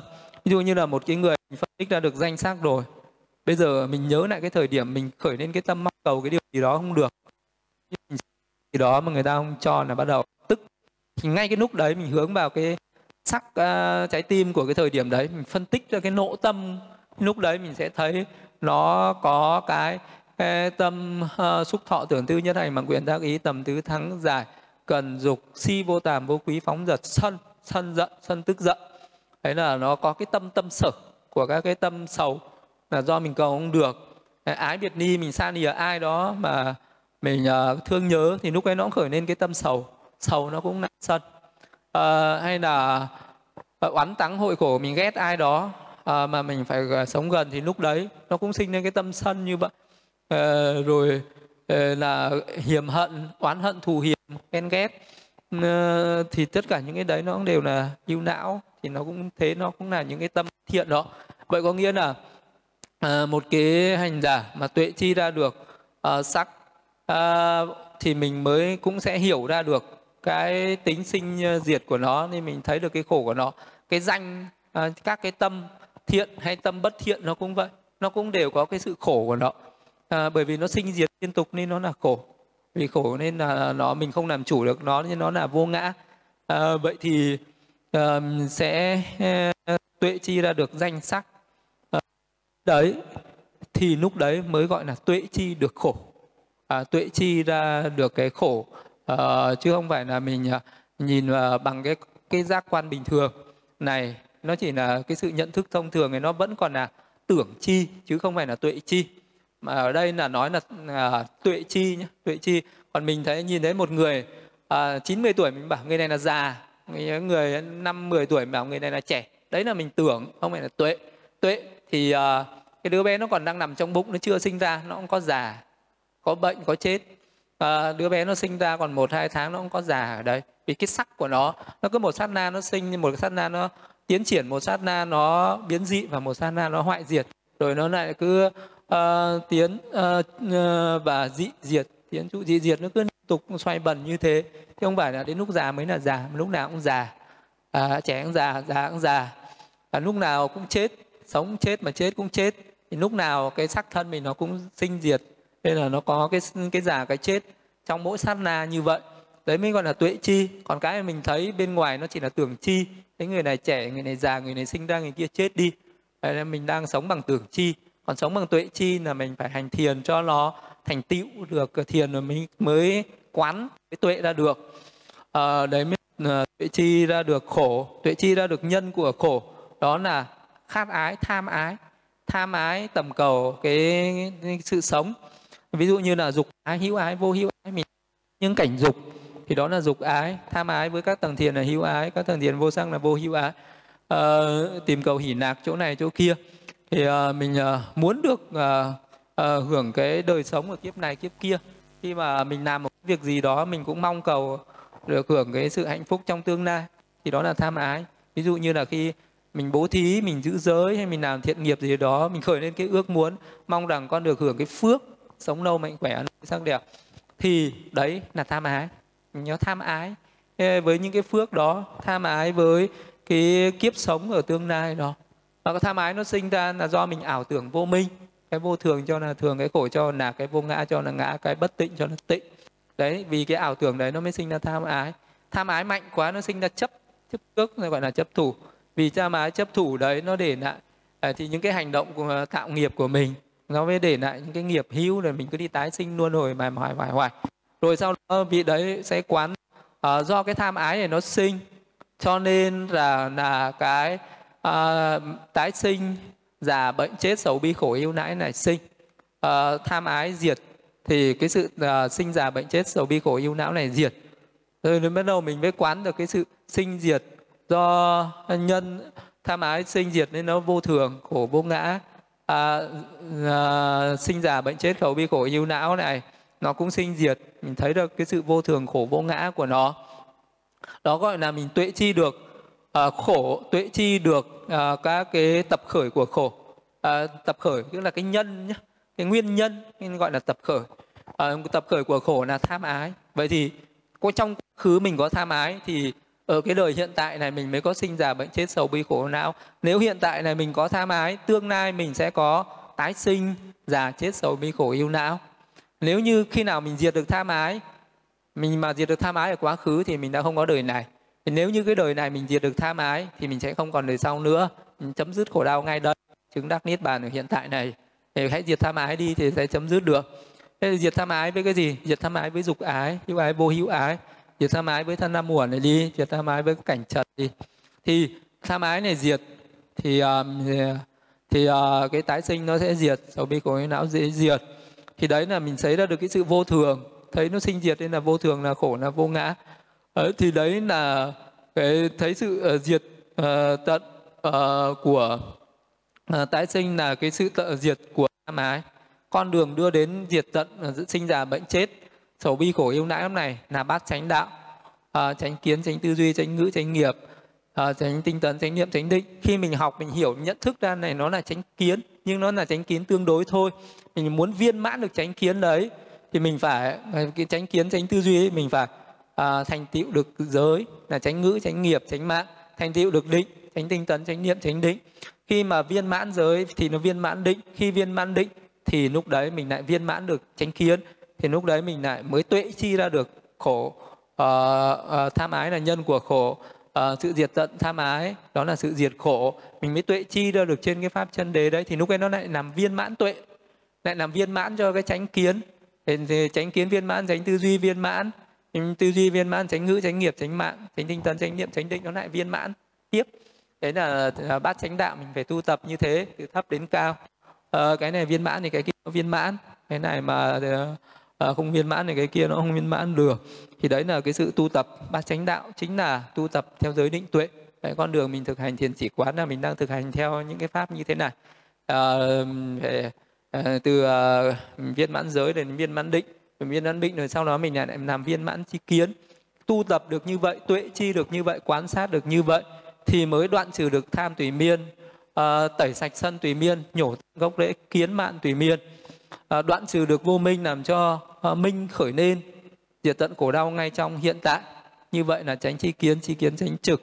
Vì thánh đệ tử có lòng tin pháp tuyệt đối và thành tựu diệu pháp này. Đó là pháp môn thứ ba.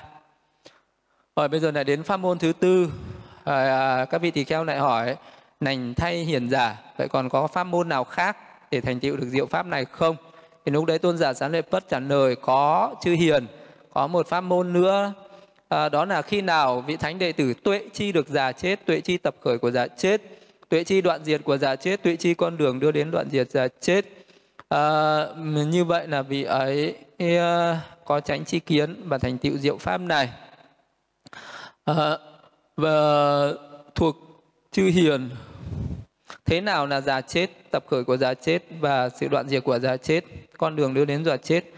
À, khi mà tất cả những chúng sinh thuộc bất kỳ à, một cái hữu tình nào à, mỗi loại hữu tình sinh ra à, có sự già à, già thì à, có cái sự rụng răng tóc bạc da nhăn tuổi thọ ngày một hao mòn bại hoại các căn như vậy gọi là già. Chứ hiền chết là cái sự chấm dứt mạng sống của một cái hữu tình nào đấy hủy hoại hoại diệt tử biệt sinh à, mệnh chung hủy hoại các uẩn à, vứt bỏ hình hài. Như vậy gọi là chết. Ờ, à, chư hiền như à, vậy từ sự tập khởi của sinh có sự tập khởi của già chết từ sự đoạn diệt của sinh có sự đoạn diệt của già chết. Và thánh đạo tám ngành này là con đường đưa đến à, đoạn diệt của già chết đó là bát chánh đạo. À, đấy là cái cái phương pháp thứ nhất. Bắt đầu nó nằm ở trong cái chi à, cuối cùng của à, 12 nhân duyên thì tất cả những cái pháp còn lại này nó đều nằm ở trong các cái chi của cái pháp duyên khởi. 12 nhân duyên là 12 chi. Thì ờ, cái này là tuệ chi già chết. Như thế tuệ chi già chết thì uh, tức là vị đấy cũng phân tích ra được uh, sắc uh, uẩn rồi mới thấy nó có cái tuệ chi ra được cái tính uh, tính sinh rồi để tính uh, dị tính diệt của nó. Là danh nó có sinh trụ diệt của nó thì vì đấy gọi là tuệ chi ra được cái già chết. À, còn trên mình à, nhận thức là tưởng chi. Còn cái này là tuệ chi là bằng cái phương pháp thực hành thiền quán đó. Còn cái nhân mà sinh ra già chết đấy là do cái tâm tục sinh. Tức là tái sinh. Sinh ở đây là mình phải quán được tâm tục sinh. Thì mình mới quán cái tâm tục sinh đó là nhân. Ờ, à, già chết này là quả. Rồi tự đoạn diệt. À, đó là mình à, thấy ra được cái cái cái cái danh sắc tục sinh này nó sinh nên nó diệt đi ngay thì uh, đó uh, do nên là cả cái cái già chết uh, đấy nó cũng sinh nên nó diệt đi ngay. Thì đấy được gọi là mình thấy cái sự vô thường của vô ngã của nó. Vậy thì uh, cũng là thực hành theo bát chánh đạo cũng như cái phần nói ở trên. Thì uh, rồi tu cái pháp như vậy tức là mình cũng phải uh, tuệ chi ra được uh, sắc pháp tuệ chi được danh pháp thấy được cái tính uh, duyên khởi của nó thấy được các cái nhân duyên sinh ra cái danh sắc đấy rồi mình hiểu ra được sự vô thường của vô ngã của nó thì đấy cũng là mình đang thực hành bát chánh đạo và cũng là làm cho viên mãn tránh kiến tránh tránh trí và đoạn trừ được cái uh, phiền não tham sân si được vô minh và chấm dứt khổ đau. Đấy là cái pháp môn. À, rồi cũng có những pháp môn nữa. À, này chư hiền có pháp môn nào khác không? À, để đi đến thành tựu được chánh kiến để có pháp môn à, này chư hiền có thể có khi nào thánh đệ tuệ tuệ chi được sinh tuệ chi tập khởi của sinh tuệ chi đoạn diệt của sinh và tuệ chi đến con đường đi đến đoạn diệt sinh. À, và thế nào là tuệ chi sinh? Là một cái hữu tình nào được sinh ra ở trên đời? À, đó là sinh. À, sự sanh khởi hiện khởi xuất hiện hiện diện dưới các hình thức các uẩn tụ đắc các xứ. Chư hiền vậy gọi là sanh sự tập khởi của hữu có tập khởi của sanh đoạn diệt của hữu có đoạn của sanh. Và bát chánh đạo là đoạn diệt tái sanh à, chấm dứt khổ đau ở trong hiện tại này. Thì à, cái tuệ chi à, cái pháp môn nữa đó là nhờ à, tuệ chi sanh tức là tuệ chi à, được cái sự tục sanh. Thì à, sinh dù là loài sinh ra ở thai thì lúc đấy mình phải hướng tâm về cái bào thai đấy mình mới thấy được cái thời điểm tục sanh đấy. Hay là loài sinh ra ở trứng loài sinh ra từ à, à ở trong ẩm thấp tức là có những con uh, loài sinh ra ở những cái xác thối uh, những cái nơi uh, rác rưởi hay là có này hóa sinh. Và hóa sinh thì uh, chỉ người nào có thiên nhãn thì mới thấy. Mình thường mình không thấy được vì đó là chư thiên hay là các cái dạ xoa và các chư thiên ở dưới địa ngục hay ngã quỷ thì là hóa sinh. Còn uh, mình thì sẽ thấy rõ chúng sinh từ thai sinh nhưng mà thấy là thấy trên cái tưởng chi thôi. Còn thấy trên cái tuệ chi là phải thực hành thiền tuệ để thấy được cái danh sắc uh, tục sinh đó à, thì à, có bốn loài chúng sinh đấy. Loạn thai thấp hóa sinh ra trên đời thì có thân năm uẩn này có các căn mắt tai mũi lưỡi thân ý các cái cảnh à, tiếp xúc lại như vậy đấy là tái sinh. Sự tập khởi của tái sinh là do có cái nghiệp hữu. Nghiệp hữu là khi mà mình làm một cái việc gì đó nó thành tựu và làm cái việc đấy nó đi kèm với cái tham ái nên nó thành ra cái nghiệp hữu. Ví dụ như là à, bây giờ à, mình làm một cái việc như bố thí mình nguyện là kiếp sau mong là tôi sự sinh lại làm người à, được hưởng những cái phước này ở cõi người. Thì khi mình chưa làm mình có nguyện đấy thì nó chưa thành nghiệp hữu. Mặc dù nó có thiện có tâm thiện khởi lên nhưng nó chưa thành tựu nên nó không để lại nghiệp hữu. Khi nào mình có làm và mình có phát nguyện đi kèm với việc làm đấy có tham ái đi kèm với việc làm đấy thì lúc đấy nó mới thành nghiệp hữu. Ví dụ như là à, mình à, dâng cúng dường đức phật một à, bông hoa che nước mình nguyện kiếp sau cho con sinh lại làm người uh, khỏe mạnh an vui. Thì lúc đấy mình có làm mình có nguyện thì lúc đấy nó thành nghiệp hữu. Cái nghiệp hữu lúc đấy là nghiệp hữu là, là dục uh, hữu. Có thể là một cái người ước nguyện là mong là tôi được sinh về cõi phạm thiên. Rồi mình uh, làm các cái việc thiện khác mình nguyện không thành tị nó không thành nghiệp hữu. Nhưng mình chứng đắc được sơ thiền nhị thiền tam thiền tứ thiền thì lúc đấy mình phát nguyện nó mới thành nghiệp hữu. Vì mình có tham ái với cái nghiệp đấy có chấp thủ với cái nghiệp đấy. Cho nên cái nghiệp ấy nó thành nghiệp hữu. Đấy là gọi là do hữu do là tập khởi của tái sinh. Là như vậy. Tức là mình có nghiệp hữu là do mình có uh, mình có tạo một cái nghiệp gì đó nó có thành tựu và nó có tham ái có chấp thủ ở trong đó. Thì ờ, đó là do thì cái này bắt buộc mình phải dùng cái trí tuệ để mình quán về cái nghiệp hữu đó. Cái nghiệp hữu đó ví dụ mình quán nghiệp hữu ở quá khứ thì mình phải nương vào cái, ờ, cái danh sắc mình nương vào sắc trái tim rồi mình ờ, khởi lên phiền não luôn mình đi về tâm tục sinh rồi mình hướng về thời điểm mà cận tử trước. Mình mới thấy cái nghiệp hữu ở trong cái thời đấy mình làm nó có vô minh tham ái chấp thủ hành nghiệp. Thì cái nghiệp đấy là nghiệp hữu. Để nó có cái nhân ở quá khứ nó sinh cái quả hiện tại này nó là có sắc thọ tưởng hành thức của mình. À, đó chính là cái sự à, tâm tái sinh cái tục sinh của mình. Đấy gọi là sự tập khởi của hữu có tập sự của tái sinh là vậy là mình phải quán theo cái duyên khởi như vậy. Thì sự đoạn diệt của hữu có sự đoạn diệt của tái sinh mình sẽ nhìn vào cái cái cái cái, cái nghiệp hữu đó à, nó là những cái thiện nghiệp nó sẽ có 34 tâm nó khởi lên nhưng mà nó sinh nên nó diệt đi ngay. Cho nên là cái tâm tục sinh này nó cũng sinh nên nó diệt đi ngay. Suốt cái kiếp sống của mình danh sắc nó cứ diệt liên tục như vậy. Đó là đoạn diệt của hữu có đoạn diệt của tái sinh mình mới thấy ra là nó sinh diệt đấy mình hiểu là cái sự vô thường của vô ngã của nó. À, mình quan sát như vậy mình thành tựu được chánh trí như vậy mới đoạn trừ được tham tẩy sạch được sân à, nhổ được à, cái ngã mạn diệt trừ được vô minh và diệt tận khổ đau ngay trong hiện tại này. Do mình quán chiếu quan sát tư duy như thế à, thực hành những cái thiền vipassana như thế tuệ chi. À, đấy là à, cái pháp môn để đưa đến à, uh, thành tựu được chánh trí và thành tựu được cái diệu pháp này. Rồi uh, tôn giả sáng lễ phất lại nói uh, có con uh, một pháp môn để uh, đưa đến thành tựu chánh kiến ngay trong đời này. Để nữa đó là vị uh, thánh đệ tử tuệ chi tập khởi của hữu tuệ chi đoạn diệt của hữu tuệ chi con đường đưa đến đoạn diệt hữu uh, thế nào là uh, tuệ chi hữu tuệ chi tập khởi của hữu tuệ chi uh, đoạn diệt của hữu và tuệ chi con đường đưa đến đoạn diệt hữu thì chữ này chữ hiền này có dục hữu sắc hữu và vô sắc hữu. Từ tập ở khởi của chấp thủ có tập khởi của hữu đoạn diệt của chấp thủ có đoạn diệt của hữu. Con đường đưa đến ờ, diệt hữu đó là bát chánh đạo. Thì ở đây ờ, là nhà sẽ tuệ chi về cái cái nghiệp hữu đó. Nó sẽ nằm ở trong cái phiền não luôn. Có thể mình hướng tâm về cận tử kiếp trước hoặc là mình khởi lên cái phiền não luôn ngay trong hiện tại này. À, thì mình sẽ thấy có cái nghiệp hữu ở tương lai. Thì đi trước cái nghiệp hữu ấy nó có chấp thủ thì ví dụ như thế này một cái người dâng lên cúng phật một chai nước thì đấy là tạo nghiệp. Rồi vị đấy nguyện rằng mong cho con kiếp sau trở lại làm người à, được à, an vui mạnh khỏe có sắc đẹp. Hay là nguyện bất cứ làm gì cũng được à, cứ nguyện lại đúng với cái nghiệp mình làm. Thì cái nghiệp đấy có tạo mình có tham ái với cái sự hưởng cái phước này đấy ở tương lai thì là nó sẽ thành nghiệp hữu. Có tham ái nên là chấp thủ. Có chấp thủ cho nên là cái nghiệp đấy nó để lại cái nghiệp hữu để tái sinh ở tương lai. Thì vì cái nghiệp ấy nó thành tựu nên là nó sẽ có cái hiện hữu cái nghiệp hữu nó sinh lên. Thì lúc đấy mình sẽ thấy à, do vô à, vô minh tham ái chấp thủ hành nghiệp.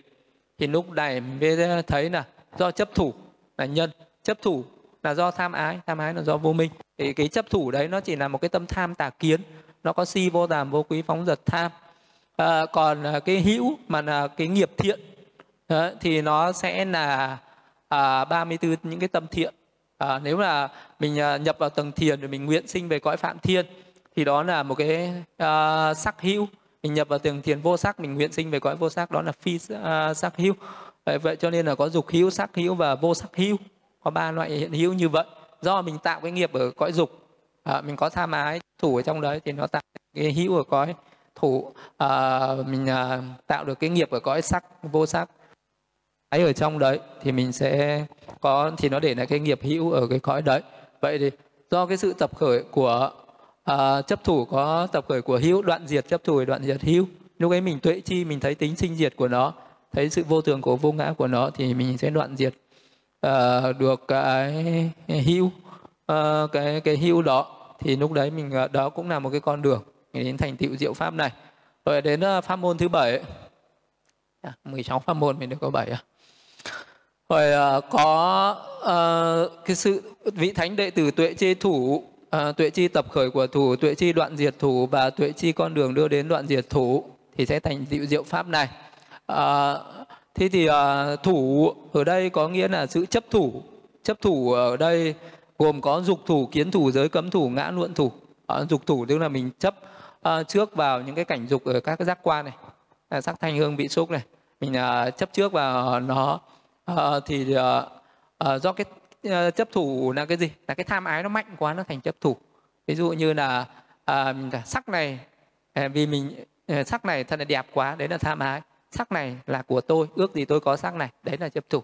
À, thanh này đẹp quá là tham ái ước gì tôi có thanh này đấy là chấp thủ. Tức là cái tham ái nó nhẹ thì nó chưa có chấp thủ nhưng cái tham ái nó mạnh là nó sẽ có chấp thủ. Ví dụ mình nhìn thấy một cái gì đó mình hơi thích thích thôi à, thoáng qua à, thì nó mới là tham ái nhưng mà nó chưa có chấp thủ.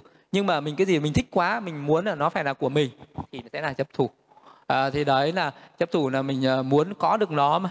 À, gọi là phải à, đạt được nó thì lúc đấy nó còn nó gọi là chấp thủ. Vậy đấy gọi là dục thủ kiến thủ là có những cái tà kiến à, mà mình chấp trước vào đó ừ, cho rằng cái hiểu biết này của tôi là đúng. À, cái này mới là chân lý cái khác là sai. Thì đấy gọi là kiến thủ giới cấm thủ tức là mình chấp trước vào những cái hành động sai trái. Ví dụ như là à, chấp trước vào những cái hủ tục tập quán ở thế gian. Ví dụ có người người ta bảo là à, phải cầu nguyện phải lễ bái mới được phước. À, thì à, chứ người ta bảo không phải là do tạo ra phước mà do chứ, à, thượng đế hay là do thần linh hay là do ai đó ban phước cho mình. À, cho nên mình phải tôn thờ phải cung kính phụng hành. Thì đấy gọi là giới cấm thủ chấp thủ vào những cái điều cấm kỵ à, sai trái ngã luận thủ tức là chấp thủ vào cái thân năm muộn à, sắc là của tôi thọ tưởng hành thức là của tôi đấy là ngã luận thủ. Vậy có bốn loại chấp thủ nhá dục thủ kiến thủ giới cấm thủ và ngã luận thủ. Thì đấy là tuệ chi được thủ. À, bây giờ à, mình à, tưởng chi được thủ thì dễ mà tuệ chi được thủ thì khó. Cái gì à, mình chả tham ái với thân nam muộn này quá tham ái với ngũ dục quá chừng. Tham ái với những cái hiểu biết của mình cho là đúng thì quá chừng. Đấy mới là tưởng chi thôi. Còn tuệ chi mình phải phân tích ra được là khi nào à, mình tham ái một cái gì thì nó có cái nộ tâm tham ái nó khởi lên. Nó có 20 hai, hai tâm. Rồi chấp thủ nó khởi lên là do tham ái mạnh quá nên nó sinh ra chấp thủ. Nó có 20 22 tâm nó giống y như nhau. Lộ tâm giống y như nhau. Chỉ khác là nó mạnh nó yếu khác nhau mà thôi. Đấy mới là tuệ chi chấp thủ. À, vậy thì mình phải phân tích ra được danh sắc à, mới phân tích ra được cái cái tâm tham tà kiến là mình đã phân tích ra được cái tâm chấp thủ này rồi. Rồi sau đó mình quán về cái pháp duyên khởi à, do tham ái sinh cho nên là chấp thủ sinh. Thì lúc đấy mình phải quán theo cái pháp nhân duyên 12 nhân duyên đó. Tham ái 20 tâm uh, sinh cho nên là chấp thủ 20 tâm này sinh. Sinh diệt nên nó là vô thường khổ vô ngã. Quán như vậy và cứ khi nào nó thể nhập với cái chánh trí đấy là mình sẽ đoạn trừ được tham sân si diệt trừ được vô minh. Tham ái chấp thủ và thành tiểu pháp này. Tức là lúc đấy quán như vậy. Khi mà gọi là thành tựu diệu pháp này mà thành tựu được một trong bốn đạo quả từ thanh đạo từ thanh quả thì đấy là một cái phương pháp nữa còn một cái pháp môn nữa. À, chư hiền khi nào thánh đệ tử tuệ chi ái tuệ chi tập khởi của ái tuệ chi đoạn diệt của ái và tuệ chi con đường đưa đến đoạn diệt ái thì vị ấy thành tựu được diệu pháp này. À, thế nào là tuệ chi ái?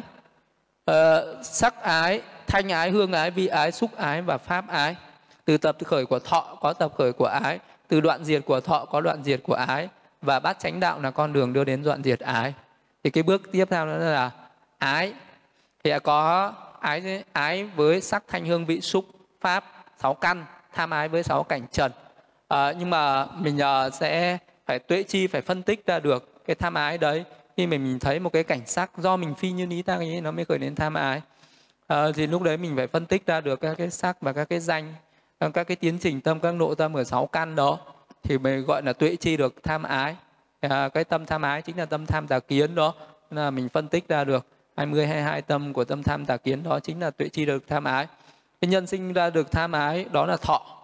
À, thọ do nhãn xúc sinh nhĩ xúc sinh tị xúc sinh thiệt xúc sinh thân xúc sinh và ý xúc sinh. Thì à, lúc đấy thì nó có thọ hỉ thọ nạc à, thọ xả thọ khổ thọ yêu nó có năm cái loại cảm thọ đó là nhân và cái ái kia là quả. Thì à, lúc đấy mình mới phải à, phân tích ra được à, thọ ở cũng ở sắc căn. Do mắt nó tiếp xúc với cái cảnh trần nó ưa thích cảnh trần đấy là thọ. Từ cái sự ưa thích cảnh trần đấy từ cái cảm thọ đấy nó mới sinh ra tham ái cảnh trần. À, tai tiếp xúc với thanh nó cũng thế. Do tiếp xúc nó sinh ra cảm thọ yêu ghét đấy nó mới sinh ra cái tham ái với mấy cái cảnh đó. Vậy cho nên là sáu thọ nó sinh ra sáu ái. Bằng cái cái anh mình cũng phải quán về uh, tuệ chi được danh sắc rồi tuệ chi pháp duyên khởi đó thì mình sẽ tuệ chi ra được cái uh, cái cảm thọ đấy. Từ ờ, đoạn diệt của tham ái có đoạn diệt của uh, đoạn diệt của thọ có đoạn diệt của ái. Thọ sinh thì nó diệt thì ái nó cũng sinh nó diệt. Rồi mình tuệ chi được tính sinh diệt tính vô thường của vô ngã của nó thì lúc đấy là sẽ thành tựu được diệu pháp này. Phải đến pháp môn nữa. Chư hiền thánh đệ tử tuệ chi thọ tuệ chi uh, tập khởi của thọ tuệ chi đoạn diệt của thọ và tuệ chi con đường đưa đến đoạn diệt thọ. Chư hiền có sáu loại thọ đó là thọ do nhãn xúc sinh thọ do nhĩ xúc sinh thọ do tỷ xúc sinh thiệt xúc sinh thân xúc sinh ý xúc sinh. Thì ờ, đấy là thọ ở trên sáu căn tiếp xúc với sáu trần sinh ra sáu thọ. Từ tập khởi của xúc có tập khởi của thọ diệt thận của xúc có diệt thận của thọ. Vậy thì ờ, cái khi nào mình thấy được cái xúc cái xúc đấy là nhân và thọ là quả? Thì cái sự tuệ chi của nó cũng giống như trên. Thế là cái vị đấy sẽ phân ờ, biệt ra danh sắc và quán về pháp duyên khởi 12 nhân duyên này thì sẽ quán được hết. À, về cái sự tập khởi của xúc sinh ra tập khởi của thọ và đến cái uh, pháp môn thứ 10 là hành giả tuệ chi xúc tập khởi của xúc đoạn diệt của xúc và con đường đưa đến đoạn diệt xúc. Thì có nhãn xúc nhĩ xúc tị xúc thiệt xúc thân xúc ý xúc. Rồi uh, có cái sự tập khởi của xúc đó là có tập sự của sáu căn. Ờ, à, tức là có sáu xứ đấy. À, sáu xứ thì nên có tập khởi của xúc à, ờ, thì đoạn diệt của sáu xứ là đoạn diệt của xúc tức là sáu xứ ở đây là có à, con mắt tai mũi lưỡi thân ý của mình. À, nó tiếp xúc với sáu cảnh trần và nó có cái nhãn thức nhĩ thức thị thức tiệt thức thân thức ý thức. Ở trong đấy nữa thì uh, căn cảnh thức nó tia gặp nhau nên là nó mới tạo ra cái xúc lúc đấy vị đó phân tích ra cái danh sắc ở trong mắt. Uh, rồi là à, à, hướng đến cảnh trần đấy. Thì lúc đấy vị đó tuệ chi đều được xúc. Rồi à, tuệ chi cái tính sinh diệt của nó vô thường của vô ngã của nó thì vị đấy tuệ chi đưa được sự uh, tuệ chi xúc tập khởi xúc đoạn diệt xúc và con đường đưa đến đoạn diệt xúc. Uh, rồi chư hiền khi nào tuệ vị thánh đệ tử tuệ chi được sáu xứ tuệ chi tập khởi uh, sáu xứ đoạn diệt sáu xứ và con đường đưa đến đoạn diệt sáu xứ. Thì chư hiền có sáu xứ này đó là nhãn xứ hay là nhãn nhập à, nhĩ xứ tỷ xứ thiệt xứ ờ, thân xứ ý uh, xứ. À, từ tập khởi của danh sắc có tập khởi của sáu xứ. Đoạn diệt của danh sắc có đoạn diệt của sáu xứ. À, và bát chánh đạo là con đường đưa đến đoạn diệt của sáu xứ này. Thì à, danh và sắc à, là nhân và sáu xứ là quả. Thì sáu xứ với danh sắc nó cũng như nhau. Khi mà mình phân tích ra được danh sắc uh, danh ở trên các căn và sắc ở trên các căn rồi lúc đấy mình mới uh, thấy là danh uh, thì nó uh, tâm tâm sở nó duyên cho tâm uh, rồi tâm thì lại duyên cho tâm sở. Đấy là mình đang tuệ chi danh sắc duyên sáu xứ. À, rồi là sắc duyên cho danh hay là danh duyên cho sắc hay là danh sắc duyên cho tâm thức thì đấy cũng là cái gọi là danh sắc duyên cho sáu sự danh sắc duyên cho lục nhập thì cái uh, uh, danh sắc ở đây là uh, danh là các cái tâm sở.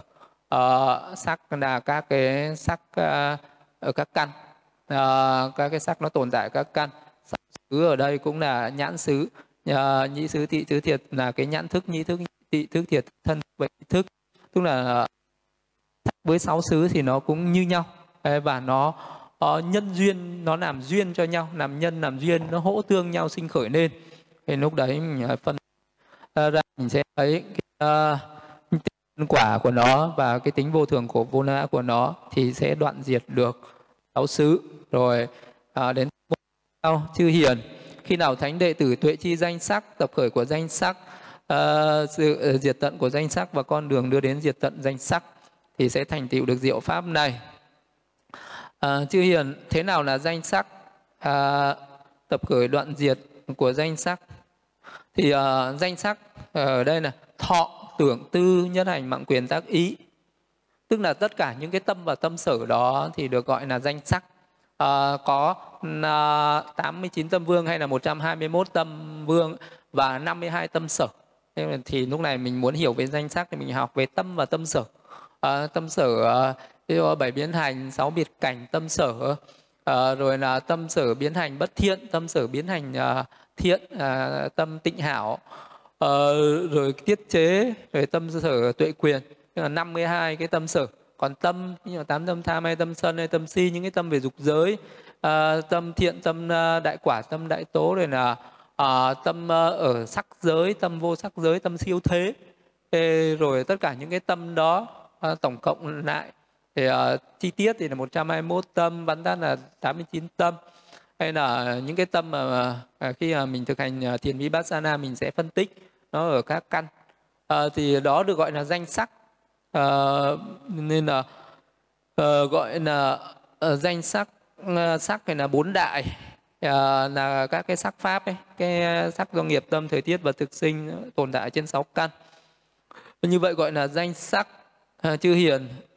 À, từ tập khởi của thức có tập khởi của danh sắc từ đoạn diệt của thức có đoạn diệt của danh sắc thì, cái sự tập khởi của thức thì nó bao gồm hai loại thức và danh sắc nó có hai loại danh sắc. Một là danh sắc nó là quả của cái thức quá khứ. Ví dụ như là trong những cái à, cái nghiệp trong quá khứ khi mình tạo ấy uh, cho nên là nó sẽ tạo ra cái sắc do nghiệp sinh và những cái tâm quả. Uh, ví dụ nhãn thức nhĩ tị thiệt thân thức thì đấy là tâm quả. Tiếp thâu suy xét à, tâm đăng ký đó là tâm quả. Thì nó là quả của những cái tâm thức mà mình đã tạo nghiệp trong quá khứ thì ờ, cái nghiệp tốt thì bây giờ mình sẽ có những cái ờ, mình sẽ đạt được những cái tâm ờ, mình sẽ gặp được những cái cảnh tốt nghiệp xấu mình gặp cảnh xấu. À, còn cái tâm thức ở hiện tại thì đó là những cái tâm thức mà nó sinh lên ở các cái tốc hành tâm thiện hay tâm bất thiện ở hiện tại này. Thì nó cũng sinh ra tâm sở và sắc do tâm sinh. Thì đó cũng gọi là do tập khởi của thức có tập khởi của danh sắc. Thì nó có những cái thức ở quá khứ nó sinh ra cái danh sắc ở hiện uh, tại nó có cái thức ở hiện tại nó lại sinh ra danh sắc ở hiện tại nữa. Vậy thì nói về à, thức uh, duyên cho danh sắc thì nó có cả liên quan đến quá khứ và hiện tại. Thì mình có phân tích có quán chiếu được ra như thế thì mình mới thấy được của nó do sự diệt của thức thì diệt của danh sắc. Nên là thấy tính sinh diệt vô thường của vô ngã của nó à, và mình sẽ thành tựu được chánh trí và thành tựu được cái diệu pháp này. Hỏi đến uh, pháp môn thứ 13 chư hiền khi nào thánh đệ tùy à, đệ tử tuệ chi thức, tuệ chi tập khởi của thức, đoạn diệt của thức và con đường đưa đến đoạn diệt thức thì sẽ thành tựu được diệu pháp này. Có sáu loại thức, nhãn thức, nhĩ thức, tị thức, thiệt thức, thân thức, ý thức từ tập khởi của hành, có tập khởi của thức, đoạn diệt của hành, có đoạn diệt của thức. Bát chánh đạo là con đường đưa đến đoạn diệt thức. Ờ, thì tuệ chi được thức. Ờ, thì nó, thì lúc đấy mình cũng phân tích ra được à, các cái tâm danh sắc à, nói chung là như vậy. Thì ờ, thức nhãn thức nhĩ thức tị thức thiệt thức thân thức ý thức. Mà những cái nộ ờ, tâm thức nó khởi lên nó không khởi lên một mình. Ví dụ khi mà mình khởi lên cái ý là muốn nhìn một cái cảnh vật nào đó à, thì lúc đấy cái tâm hữu phần nó rung động nó dứt dòng. Phải bắt đầu một cái ngũ môn hướng tâm nó khởi lên rồi sau đó cái mắt à, nhãn tị xác của mình nó tiếp xúc với cái cảnh sắc đấy nó mới gọi là cái tâm đấy là nhãn thức. À, rồi sau cái tiếp nhãn thức nó có tiếp thâu có suy xét có tâm xác định à, rồi sau đó mình xác định nó cũng là tác ý. Mình tác ý thiện thì nó sinh ra tâm thiện. Mình tác ý như lý tức là tác ý đúng sự thật nó sinh lên những cái tốc hành tâm thiện. Mình tác ý sai phi như lý tác ý nó khởi lên những tốc hành tâm bất thiện. À, thì à, tùy theo cái tác ý mà nó khởi lên các cái nội trình tâm đó. Rồi à, bảy cái tốc hành tâm nó khởi lên rồi có hai cái tâm đăng ký nó khởi lên. À, thì à, nó là một cảm cái tiến trình à, tâm cái sát na tâm. Như vậy đấy mới gọi là tuệ chi uh, được uh, uh, thức uh, ở số căn như vậy. Uh, tuệ chi tập khởi của thức đó là hành. Uh, tuệ chi tập khởi của thức ở đây là đang nói về nhãn thức là nói về tâm quả.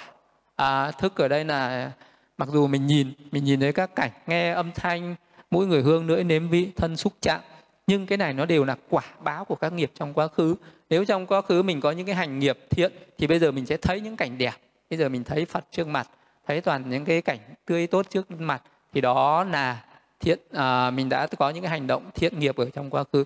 Nếu bây giờ trong quá khứ mình mà tạo cái bất thiện thì giờ mình toàn thấy những cái xấu xa như mình toàn thấy những cái xấu xa bẩn thỉu à, hôi thối mình không muốn nhìn không muốn thấy. Thì đấy là à, cái thức nó là quả nó là cái quả báo của những cái nghiệp mình đã tạo.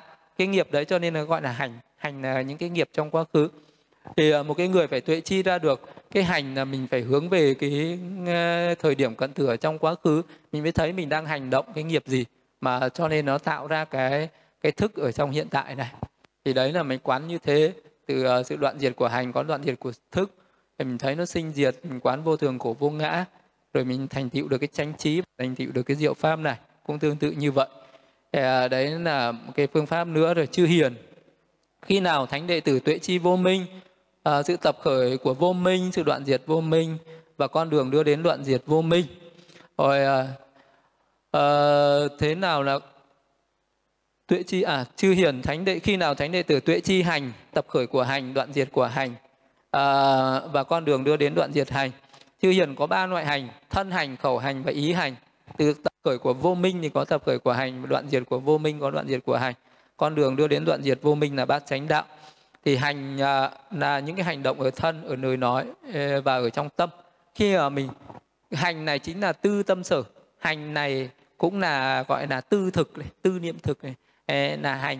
À, từ cái mình cố ý làm một cái việc gì đó thì uh, nó sẽ tạo thành một cái hành động.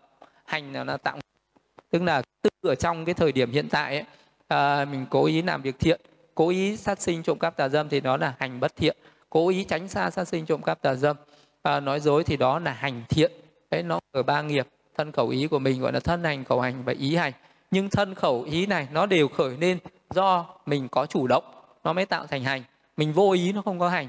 Ví dụ mình vô tình đi dẫm đạp vào một cái chúng sinh nào đó nó chết mình không cố ý nên nó không tạo thành ác nghiệp. À, mà mình có chủ ý là nó tạo thành ác nghiệp.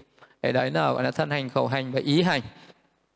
À, và à, cái tâm hành đấy nó cũng à, khởi lên à, từ tập khởi của vô minh có tập khởi của hành.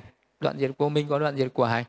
Thì à, cái này vô minh duyên cho hành. Vô minh sinh nên là hành sinh vô minh diệt hành diệt. Vô minh là cái sự ảo tưởng.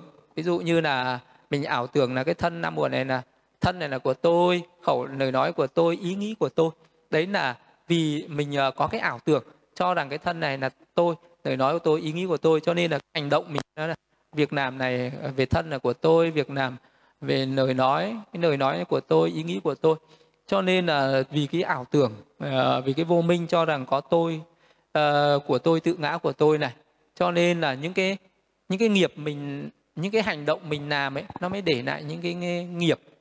À, nó mới để lại nghiệp thiện nghiệp ác. Cho còn một cái người diệt hết vô minh thì các hành nó trở thành vô ký. Tức là nó không để lại nó không còn là nghiệp nữa nó không còn là hành nữa mà nó trở thành duy tác. Ờ, nó chỉ có hành thôi mà nó không có để lại nghiệp. Còn một người mà còn vô minh thì hành gì nó cũng để lại nghiệp. Thì chỉ có bậc thánh a la hán đức phật toàn giác, đức phật độc giác mới đã hết sạch vô minh. Cho nên đức phật nói gì làm gì, suy nghĩ gì cũng là duy tác. Các bậc a la hán làm gì, nói gì, suy nghĩ gì cũng là duy tác, không có hành. Còn tất cả những bậc thánh hữu học và phàm phu thì làm gì, nói gì, nghĩ gì, nó đều để lại nghiệp. Và nghiệp này là hành hành là nghiệp nghiệp hành. Sankhara hành à, vậy thì à, à, sự hành là như thế là những cái nghiệp hành mình tuệ chi những cái nghiệp hành khi mình tạo ra ví dụ như một cái người đấy muốn kiểm tra cái hành của mình à, thiện của mình chẳng hạn vì đó đành lễ phật à, hay là vì đó cúng dường phật à, lúc đấy vị đó hướng xuống cái tâm đang khởi lên cái ý muốn khởi lên cái sự cố ý đảnh lễ phật cúng dường phật vì đó sẽ thấy nó có những cái tâm thiện à, dục giới nó khởi lên nó có các tâm sở biến hành xúc vọng tư nhất hành bằng quyền tác ý có tâm hở biệt cảnh tầm tứ thắng giải cần hỷ dục có những cái tâm tịnh hảo tín niệm giảm quý vô tham vô sân uh, vô hành xả tịnh uh, thân khinh thân nhu uh, tịnh tâm khinh tâm nhu tâm thích uh, hợp thâm thuần thục tránh trực và trí tuệ nó có thể khởi lên 34 cái tâm uh, thiện đó. Thì đấy gọi là hành. Hành nó không phải là mình nhìn đấy người này đang làm người này đang làm à, người này đang nói người này đang nghĩ thì đấy là tưởng chi còn tuệ chi. Là mình phải nhìn vào cái ý môn của người đó thì lúc đấy mình mới biết là người này à, có hành gì hành thiện hay hành bất thiện. Vậy thì phải tuệ chi là tuệ chi ra được. Khi khi mà mình uh, khởi lên cái ý muốn làm việc đấy nó sinh lên tâm thiện thì nó mới là hành thiện. Sinh lên tâm bất thiện thì nó là hành bất thiện. Còn những người không tuệ chi được có khi mình nhìn thấy người ta làm uh, cái việc đó như là một việc thiện nhưng lại là việc bất thiện. Uh, có thể là mình à, thấy cái người này người ta à, đang giúp đỡ người khác nhưng mà người ta giúp đỡ với cái tâm bất thiện thôi chứ chắc người ta đã giúp đỡ với tâm thiện. Uh, nên là ờ, mình thấy người này ờ, người ta đang bố thí người ta đang cho cái người kia một cái vật gì đó. Nhưng mà người đấy cho với cái ý nghĩa à người này dùng cái này xong ví dụ như là ta cho người này uống rượu xong là người này say rượu thì sau này nó sẽ trở thành một tên nát rượu.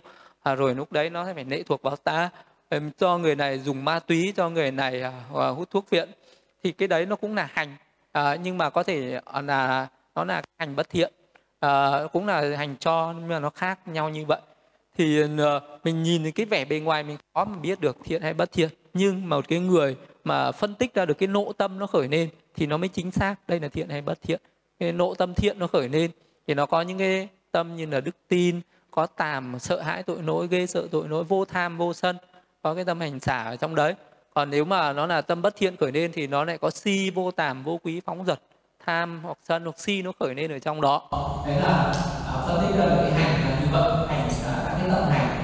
Hoặc là mình nhìn thấy những cái à, hành hoạt động hàng ngày thì uh, đó chỉ là cái tưởng chi. Thân đang làm việc này nói cái này nghĩ cái này thì không phải là tuệ chi. Tuệ chi là phân tích ra được các cái nỗ tâm Ờ, à, tâm thiện tâm bất thiện đấy mới gọi là hành. Từ tập khởi của vô minh có tập khởi của hành. Vô minh là cái ảo tưởng ấy. À, mình có cái ảo tưởng về cái việc làm của mình. Mình còn à, mình còn tưởng đây là ừ, cái cái thân tứ đại danh sắc này mình còn tưởng là ta là tự ngã của ta thì là còn vô minh.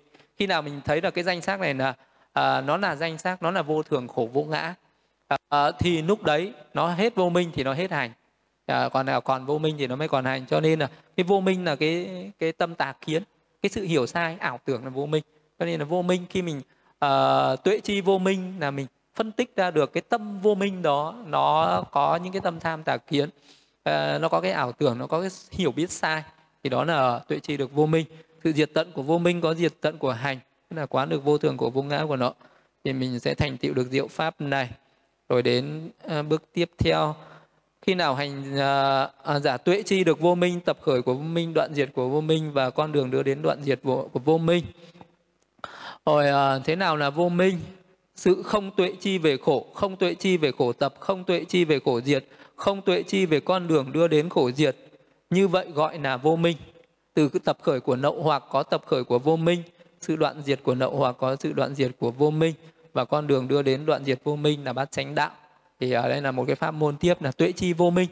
Tức là khi nào mình không hiểu khổ khổ là cái gì? Có nghĩa khi nào một cái người chưa phân tích ra được danh và sắc thì cái người đấy chưa tuệ chi ra được khổ. Khi nào mình thấy ra được à, à, tâm tâm sở sắc pháp à, niết bàn tức là thấy ra được cái, cái sự thật tột cùng đấy thì lúc đấy mới là hết vô minh. Còn mình chưa tuệ chi ra được vậy thì mình còn vô minh. Đấy là à, không tuệ chi ra được khổ không tuệ chi ra được nhân sinh ra khổ. Tức là khi nào mình chưa thấy được cái pháp duyên khởi này vô minh duyên hành hành duyên thức thức duyên danh sắc lục nhập xúc thọ ái thủ hữu sinh não tử à, sinh già chết sầu bi khổ yêu não này. Khi mà mình chưa thấy cái pháp duyên khởi đấy thì vẫn còn vô minh. À, khi nào à, tuệ chi được à, à, sự diệt khổ à, tức là tuệ chi được sự vô thường của vô ngã trên đó và con đường đưa đến diệt khổ tức là khi nào mình tuệ chưa tuệ chi ra được bốn sự thật đấy thì còn là vô minh. Khi nào tuệ chi ra được các cái sự thật đấy thì mới chấm dứt vô minh. Đấy là khi nào mình giác ngộ được chân lý tứ thánh đế thì mới hết vô minh. Chưa giác ngộ chân lý tứ thánh đế thì còn đấy là vô minh. Sự tập khởi của vô minh đó là các cái nậu hoặc. À, nậu hoặc thì là dục nậu hữu nậu và vô minh nậu ấy. À, tức là mình còn tham dục. Tức là ngày nào mình còn tham ái tham dục với các cảnh với năm uẩn ở cõi dục ở cõi sắc cõi vô ờ, sắc thì lúc đấy gọi là còn thì mình sẽ còn vô minh. Cho nên là mình cứ diệt được tham ái thì mình hết vô minh. À, đó là từ tập khởi của các nậu hoặc có tập khởi của vô minh. Đoạn diệt các nậu hoặc là đoạn diệt của vô minh. Thực hành bát chánh dạo là đưa đến đoạn diệt vô minh. Ờ, Tránh kiến là trí tuệ đoạn diệt vô minh. Và đến một pháp môn cuối cùng chư hiền. Khi nào thánh đệ tử tuệ chi nậu hoặc tuệ chi tập khởi của nậu hoặc tuệ chi đoạn diệt nậu hoặc tuệ chi con đường đưa đến đoạn diệt nậu hoặc khi ấy vị thánh đệ tử ấy có tránh chi kiến có chi kiến tránh trực có lòng tin pháp tuyệt đối và thành tựu diệu pháp này. Thế nào là nậu hoặc? Chư hiền có ba nậu hoặc là dục nậu hữu nậu và vô minh nậu. À, từ tập khởi của vô minh có nập uh, khởi của nậu hoặc đoạn diệt của vô minh có đoạn diệt của nậu hoặc. Và bát chánh đạo là con đường đưa đến đoạn diệt vô minh. Thì uh, dục nậu hữu nậu uh, vô minh nậu thì có nghĩa là một cái vị đấy phải tập phân tích ra được tất cả các cái nội tâm ở cõi dục giới phân tích ra nội các cái nội tâm thiền à, sắc giới vô sắc giới. À, và đấy là à, mình, à, vô minh động. Tức là mình phân tích ra được tất cả các cái tâm à, đấy thì à, thiện bất thiện đấy. Đấy nó là tuệ chi được các cái nậu hoặc. À, nậu hoặc là các cái tâm bất thiện đều gọi là các nậu hoặc hết. Tuệ chi ra được các cái tâm à, bất thiện thì cũng tuệ chi được cái tâm thiện. À, rồi tuệ chi ra được các cái sự tập khởi của các nậu hoặc này là vô minh. Tức là vô minh uh, sự uh, tập khởi của vô minh có tập khởi của quang lậu hoặc tức là ngày nào mình còn ảo tưởng thì nó sẽ còn là lậu hoặc tức là ngày nào mình chưa hiểu ờ, đúng. Bốn uh, cái sự thật ấy, thì mình sẽ còn lậu hoặc. Để đoạn diệt của vô minh thì đoạn diệt lậu hoặc khi nào mình có trí tuệ hiểu đúng ra được sự thật. Tức là mình thấy các cái pháp hữu vi là vô thường của vô ngã ấy, thì là mình hiểu đúng. Thì lúc ấy nó hết uh, lậu hoặc. Thì nó hết vô minh thì nó hết lậu hoặc à, vậy thì cũng con đường thực hành bát chánh đạo à, giới định tuệ ấy, cũng là cái con đường để đưa đến đoạn các cái nậu hoặc. Hay là trong cái bài kinh à, thứ hai trung bộ kinh à, kinh tất cả các nậu hoặc ấy, đoạn trừ các nậu hoặc ấy nậu hoặc phải do chi kiến được đoạn trừ nậu hoặc do phòng hộ được đoạn trừ do kham nhẫn được, được đoạn trừ do tránh né được đoạn trừ do trừ diệt được đoạn trừ và do tu tập được đoạn trừ. Đấy là các nậu hoặc thì uh, tu tập theo bài kinh này cũng là diệt trừ các nậu hoặc cũng là diệt trừ vô minh. Uh, thì uh, cũng là như vậy. Khi mà tu tập được như vậy vị thánh đệ uh, tử khi ấy vị ấy uh, đoạn trừ được tham tùy miên tẩy sạch sân tùy miên nhổ tận gốc rễ kiến mạng tùy miên. Tôi là đoạn trừ được vô minh khiến minh khởi nên diệt tận khổ đau ngay trong hiện tại. Chư hiền Ờ, như vậy vị thánh đệ tử có tránh chi kiến có chi kiến tránh trực có lòng tin pháp tuyệt đối và thành tựu diệu pháp này. Tôn giả Sariputta thuyết giảng như vậy. Các vị tỷ kheo ấy hoan hỷ tín thọ lời dạy của tôn giả Sariputta. Kinh tránh chi kiến thứ 9 à, ờ, đấy là à, chấm dứt cái bài kinh tránh chi kiến. Nói chung là trong cái bài kinh này tôn giả Sariputta nói về 16 à, ờ, cái pháp môn tu tập để đưa đến tránh chi kiến đi đến chi kiến tránh trực.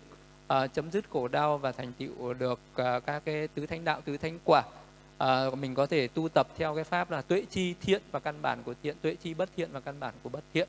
Uh, pháp uh, thứ hai mình uh, tuệ chi thức ăn. Cái tập khởi thì đoạn diệt của thức ăn và con đường đến đoạn diệt của thức ăn. Tức là bốn cái thức ăn đoàn thực thức thực xúc thực tư niệm thực ấy. thì cũng là nói uh, 16 pháp này nói thì nó khác nhau nhưng mà nó rất là giống nhau. Đó là đều là tuệ chi danh sắc cả Ờ, và cái sự tuệ chi về bốn sự thật tứ thánh đế khổ tập diệt đạo. Và tuệ chi về 12 cái chi duyên khởi tuệ chi giả chết tuệ chi của sinh tuệ chi của nghiệp hữu tuệ chi chấp thủ tham ái tuệ chi của thọ của xúc tuệ chi của sáu xứ tuệ chi danh sắc tuệ chi thức tuệ chi hành à, tuệ chi về vô minh và cuối cùng là là tuệ chi về các nậu hoặc vậy thì à, đấy là à, tổng cộng này thì có 16 cái pháp môn như vậy cái sự tu tập như vậy à, nói À, chia sẻ ra thì thành 16 pháp môn. Nhưng mà khi tu tập thì thì nó rất là giống nhau. Đó là cái vị đó thực hành theo bát chánh đạo tức là thực hành theo cái pháp môn thiền tuệ thiền quán. Khi mà mình thành tựu được giới thành tựu được thiền định rồi mình phát triển thiền tuệ mình phân tích ra được danh sắc phân tích ra được cái pháp duyên khởi sinh ra danh sắc. À, rồi quán về cái sự sinh diệt thấy được cái sự vô thường của vô ngã trên danh sắc. À, rồi mình à, à, giác ngộ ra được cái chân lý giác ngộ ra được các sự thật thì nó sẽ đoạn trừ ra được uh, cái tham đoạn trừ ra được cái tâm sân đoạn trừ tâm ờ, ngã mạn đoạn trừ được vô minh uh, khiến cho chánh trí trí tuệ khởi lên uh, và thành tựu được thánh đạo thánh quả. Và lúc đấy cũng gọi là thành tựu uh, được tránh chi kiến. Lúc đấy mới gọi là có tránh kiến có chi kiến tránh trực. Uh, thì tránh kiến là vậy. Tránh kiến chính là trí tuệ giác ngộ. Uh, cái uh, trí tuệ đã do đã đoạn trừ được tất cả những cái vô minh cái ngu si nên nó thành tựu được cái trí tuệ thì đấy là cái nội dung của cái bài kinh tránh chi kiến như vậy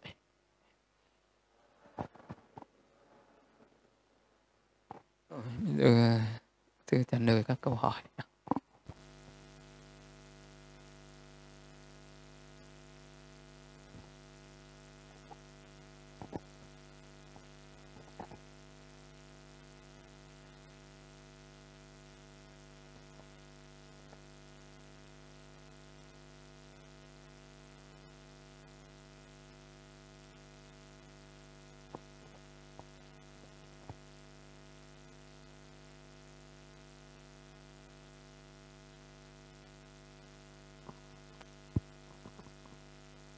Dạ, con thưa sư, con xin đọc các câu hỏi của các hành giả gửi lên ạ.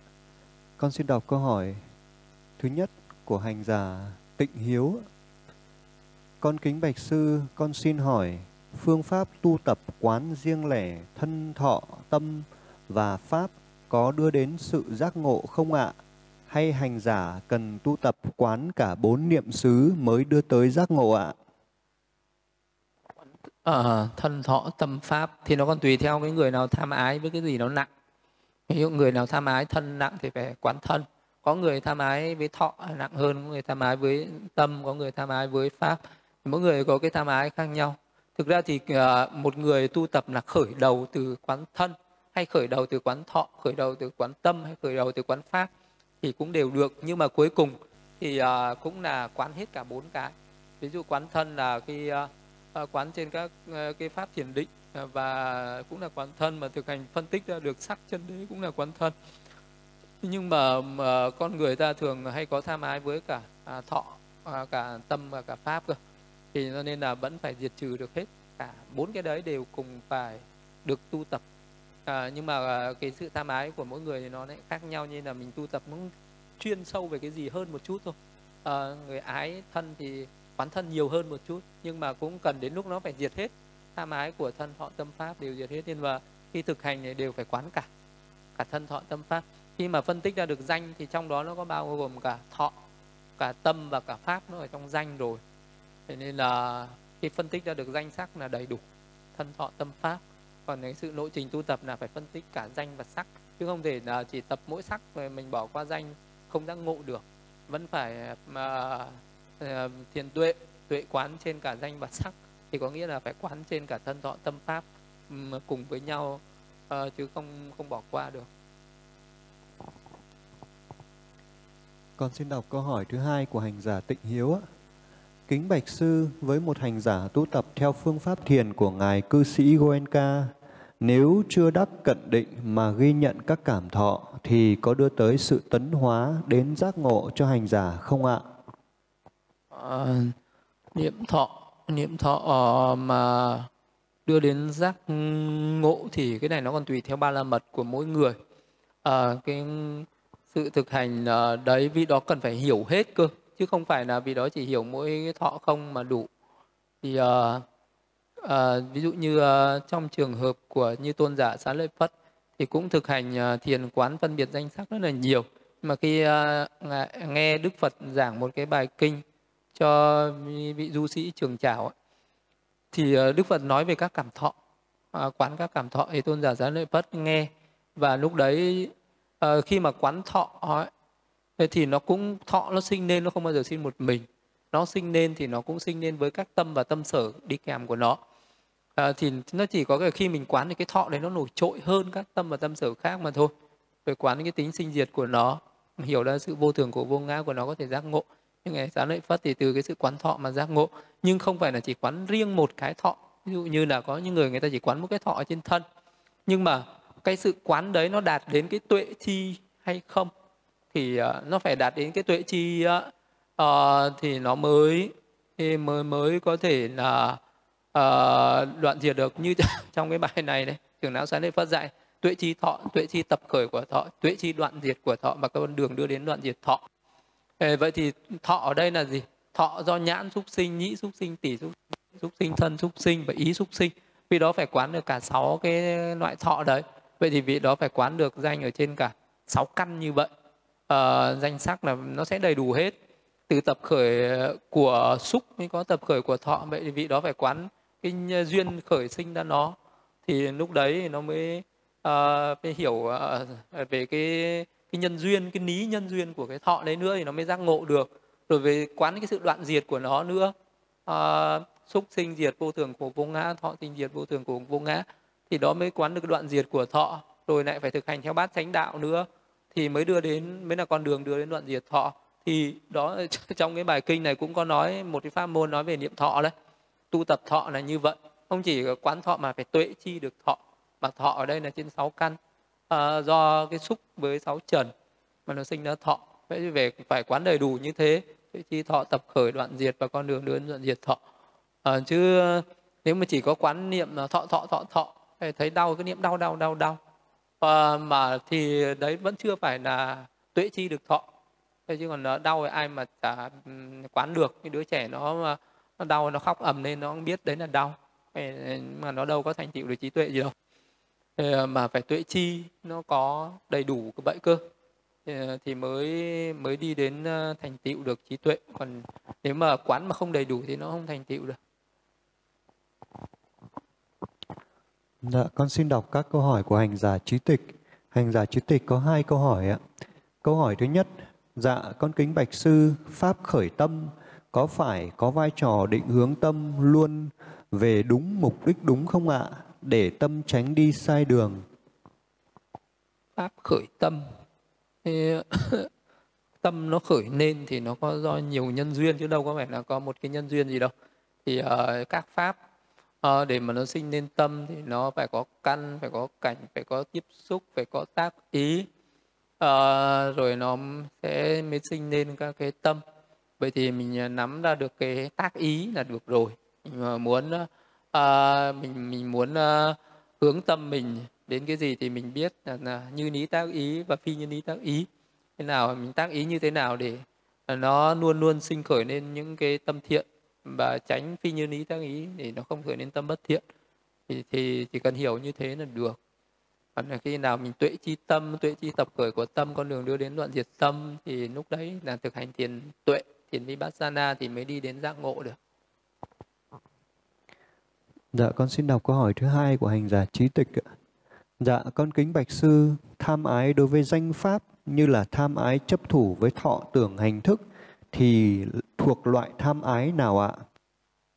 Tham ái ờ, với thọ tưởng hành thức thì ví dụ như là con mắt mình uh, tham uh, mình mình ưa thích uh, mình thích những cái niềm vui ở trên con mắt ví dụ con mắt mình cứ phải đi tìm một cái cảnh gì đó cho nó vui thì đó cũng là sắc ái nhá uh, tai mình phải đi tìm một cái cảnh gì đó nó nó phù hợp để nó để nó ưa thích với cái cảnh đấy. Thì ờ, cái thọ đấy nó khởi lên từ tai thì nó là thọ ái nó khởi lên từ mũi thì nó là tị ái nó khởi lên từ lưỡi là thiệt ái khởi lên từ thân là thân ái từ nên từ ý thức của mình thì nó là pháp ái.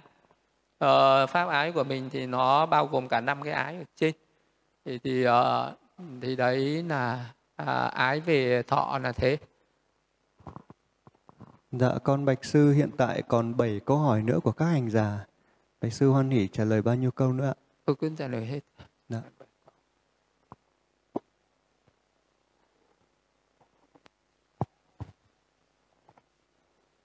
Dạ, con xin đọc câu hỏi của hành giả Linh Tịch. Dạ, con thưa sư, khi một vị thánh chú thiền quả là tứ thiền siêu thế, thì tầng thiền đó có được gọi là tầng thiền sắc giới không ạ? Hay chỉ có thể gọi là tầng thiền siêu thế ạ? Khi đó chú ở cái tầng thiền đấy, nó là cái à, pháp thiền đấy, nó là tâm quả. Tâm quả thì nó nó là tầm nó cũng là tâm duy tác mà nó không để lại nghiệp gì cho nên không được gọi là thiền sắc giới được. Khi mình chú ở tứ thiền sắc giới thì nó để lại thiện nghiệp sắc giới cơ. Còn mình chú ở trong cái thiền siêu thế thiền quả ấy, nó không để lại nghĩa thiện nó không để lại tâm bất thiện gì. Nó là tâm duy tác cho nên uh, nó là tứ thiền uh, siêu thế chứ nó không có giống với tứ thiền của hiệp thế Dạ, con xin đọc câu hỏi của hành giả Diệu Hòa. Dạ, con kính bạch sư, khi một người ngồi thiền vào được định đó ạ, lúc đó vị ấy sẽ có cảm giác như thế nào ạ? Một người vào định thì bắt đầu nó có hỷ lạc, à, do ni dục sinh, từ hỷ sinh ra kinh an, từ kinh an sinh an lạc, từ an lạc sinh định tĩnh. Bởi vì ấy ni dục ni ác bất thiện pháp chứng mà chú thiền thứ nhất một trạng thái hình lạc do ni dục sinh có tầm có tứ thì uh, lúc đấy toàn thân vị đấy thấm nhuần sự hỷ lạc do ni dục sinh đó sinh ra uh, thì đấy là cái cái cảm giác của vị đó là như thế Dạ, con xin đọc câu hỏi của hành giả Minh. Dạ, con bạch sư, một vị phạm thiên hành thiền minh sát thì lộ tâm là tâm dục giới hay sắc giới ạ? Một vị phạm thiên thì uh, khi vậy ấy chú ở tầng thiền uh, thì đó là cái nộ tâm uh, của vị đó là tâm uh, của sắc giới. Uh, nhưng mà đôi khi vị đó cũng có thể khởi lên tâm dục giới. Ví dụ như là con mắt của vị đó có thể nhìn thấy một cái cảnh gì đó ví dụ như khi vị đó đảnh lễ đức phật thì lúc đấy nó sẽ khởi lên cái tâm ờ, dục giới. Khi mà vị đó cúng dường đức phật hay là làm những cái thiện pháp ờ, khác thì nó cũng khởi lên những cái tâm của dục giới. Khi mà vị đó chú trong tầng thiền à, thì nó là sắc giới. Còn khi bị đó chìm ở trong cái, cái tâm hữu phần thì nó cũng là tâm sắc giới tâm à, à, cái tâm quả tâm quả sắc giới. Còn lại vị đó cũng có thể khởi lên được tâm dục giới sắc giới vô sắc giới siêu thế tùy theo vị phạm thiên đó chú vào tâm nào Dạ, con xin đọc câu hỏi, câu hỏi của hành giả Nguyên Tường Hà. Dạ, con xin thành kính đảnh lễ sư.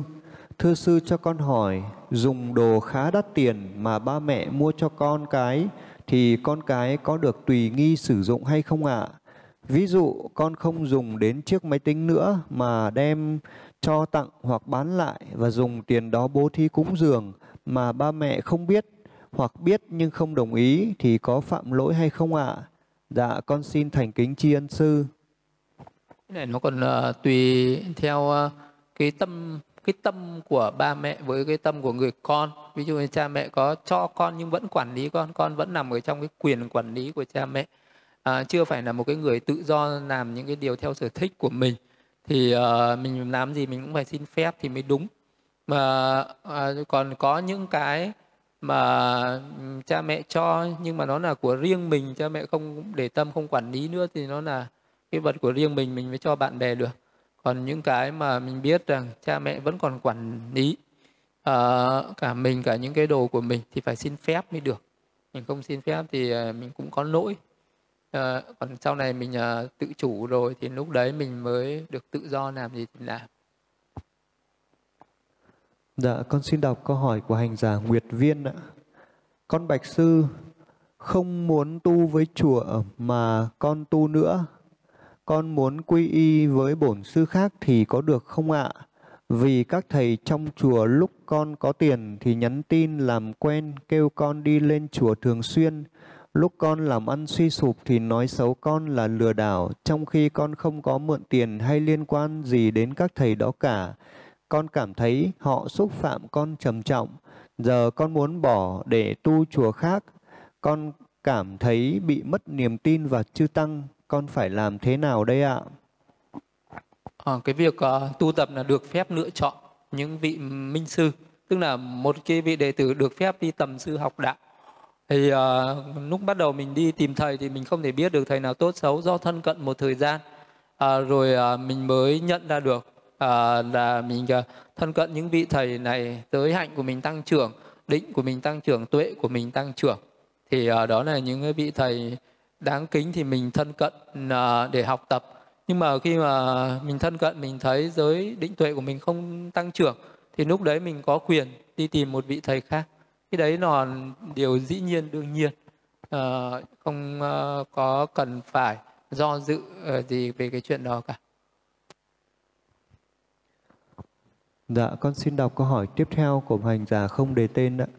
Dạ, con kính thưa sư, chúng con trước giờ hay đến một ngôi chùa chuyên tu thiền rất tốt ở Việt Nam. Ở đó có một vị sư rất xuất chúng để tu học theo. Chúng con có dự định quay lại đó tu tập, nhưng con và nhiều người bạn đạo khác lại khá ái ngại không dám đến vì ở chùa đó có một vị xuất gia rất khắt khe, hay nổi sân, nhăn nhó và nói lời thô tháo. Bản thân chúng con luôn hoan hỷ sẵn sàng sửa sai nếu có người góp ý hay là giúp đỡ chùa công việc lao tác. Và chúng con cũng biết là cần kham nhẫn khi đến một môi trường tu cũng như cần tác ý đến vận hành của nghiệp. Nhưng mà bản thân chúng con dù đã cố gắng nhưng lúc ngồi thiền vẫn phóng dật và cảm thấy sợ hãi với vị sư kia, nhất là sau khi có va chạm với vị ấy trong các giờ sinh hoạt. Và điều này khiến sự tu tập của chúng con bị gián đoạn. Trong chúng con cũng có người đang hành thiền rất tốt, nhiều người trong chúng con lâu rồi cũng chưa dám về chùa. Con kính bạch sư, chúng con nên làm gì ạ? Chúng con nên đến chùa đó tu thiền tiếp hay là ở nhà để tụ tự tu tập ạ? Con cảm ơn sư nhiều ạ. Dạ. Thì uh, cái này nó cũng là một cái mình tu đến đâu thì nó nó phải có hai mặt đấy. Nó có cái thuận và nó cũng có cái nghịch ờ, chứ làm sao mà nó thuận hết được. Nó có cái cái nghịch duyên đấy để cho mà mình gặp như thế mình gặp một cái người mà mình không hoan hỉ như thế cảm thấy nó chướng ngại đường tu của mình như thế đó cũng là quả của cái nghiệp bất thiện mình đã tạo. À, mình là, là quả nhá. Ví dụ như là trong những cái đời kiếp trước có thể là mình cũng từng ở chùa như vậy mình cũng khó tính như vậy. Ai đến tu tập để mình cũng nhăn nhó khó chịu mắng chửi người ta làm cho người ta sợ như vậy. Bây giờ mình bị quả báo đấy thì tuệ chi nhân quả do mình tạo đi. Đừng có trách ai mà trách mình. Thì, ờ, thì mình hay ờ, vui lòng mà trả nợ cho nó hết đi. Cho nên là cứ đến cho người ta chửi xem là người ta có chửi chán rồi người ta sẽ đánh người ta đánh chán rồi người ta sẽ thôi. Nên cứ đến đừng có sợ. Dạ, con xin đọc câu hỏi cuối cùng của hành giả Thiên Lý. ạ. Dạ, con kính bạch sư, khi một thiền sinh quán được đến thời điểm ngũ uẩn diệt hoàn toàn trong tương lai, thì có phải là tuệ chi diệt đế không ạ? Hay là chỉ khi nào chứng ngộ đạo quả thì mới được gọi là tuệ chi diệt đế ạ?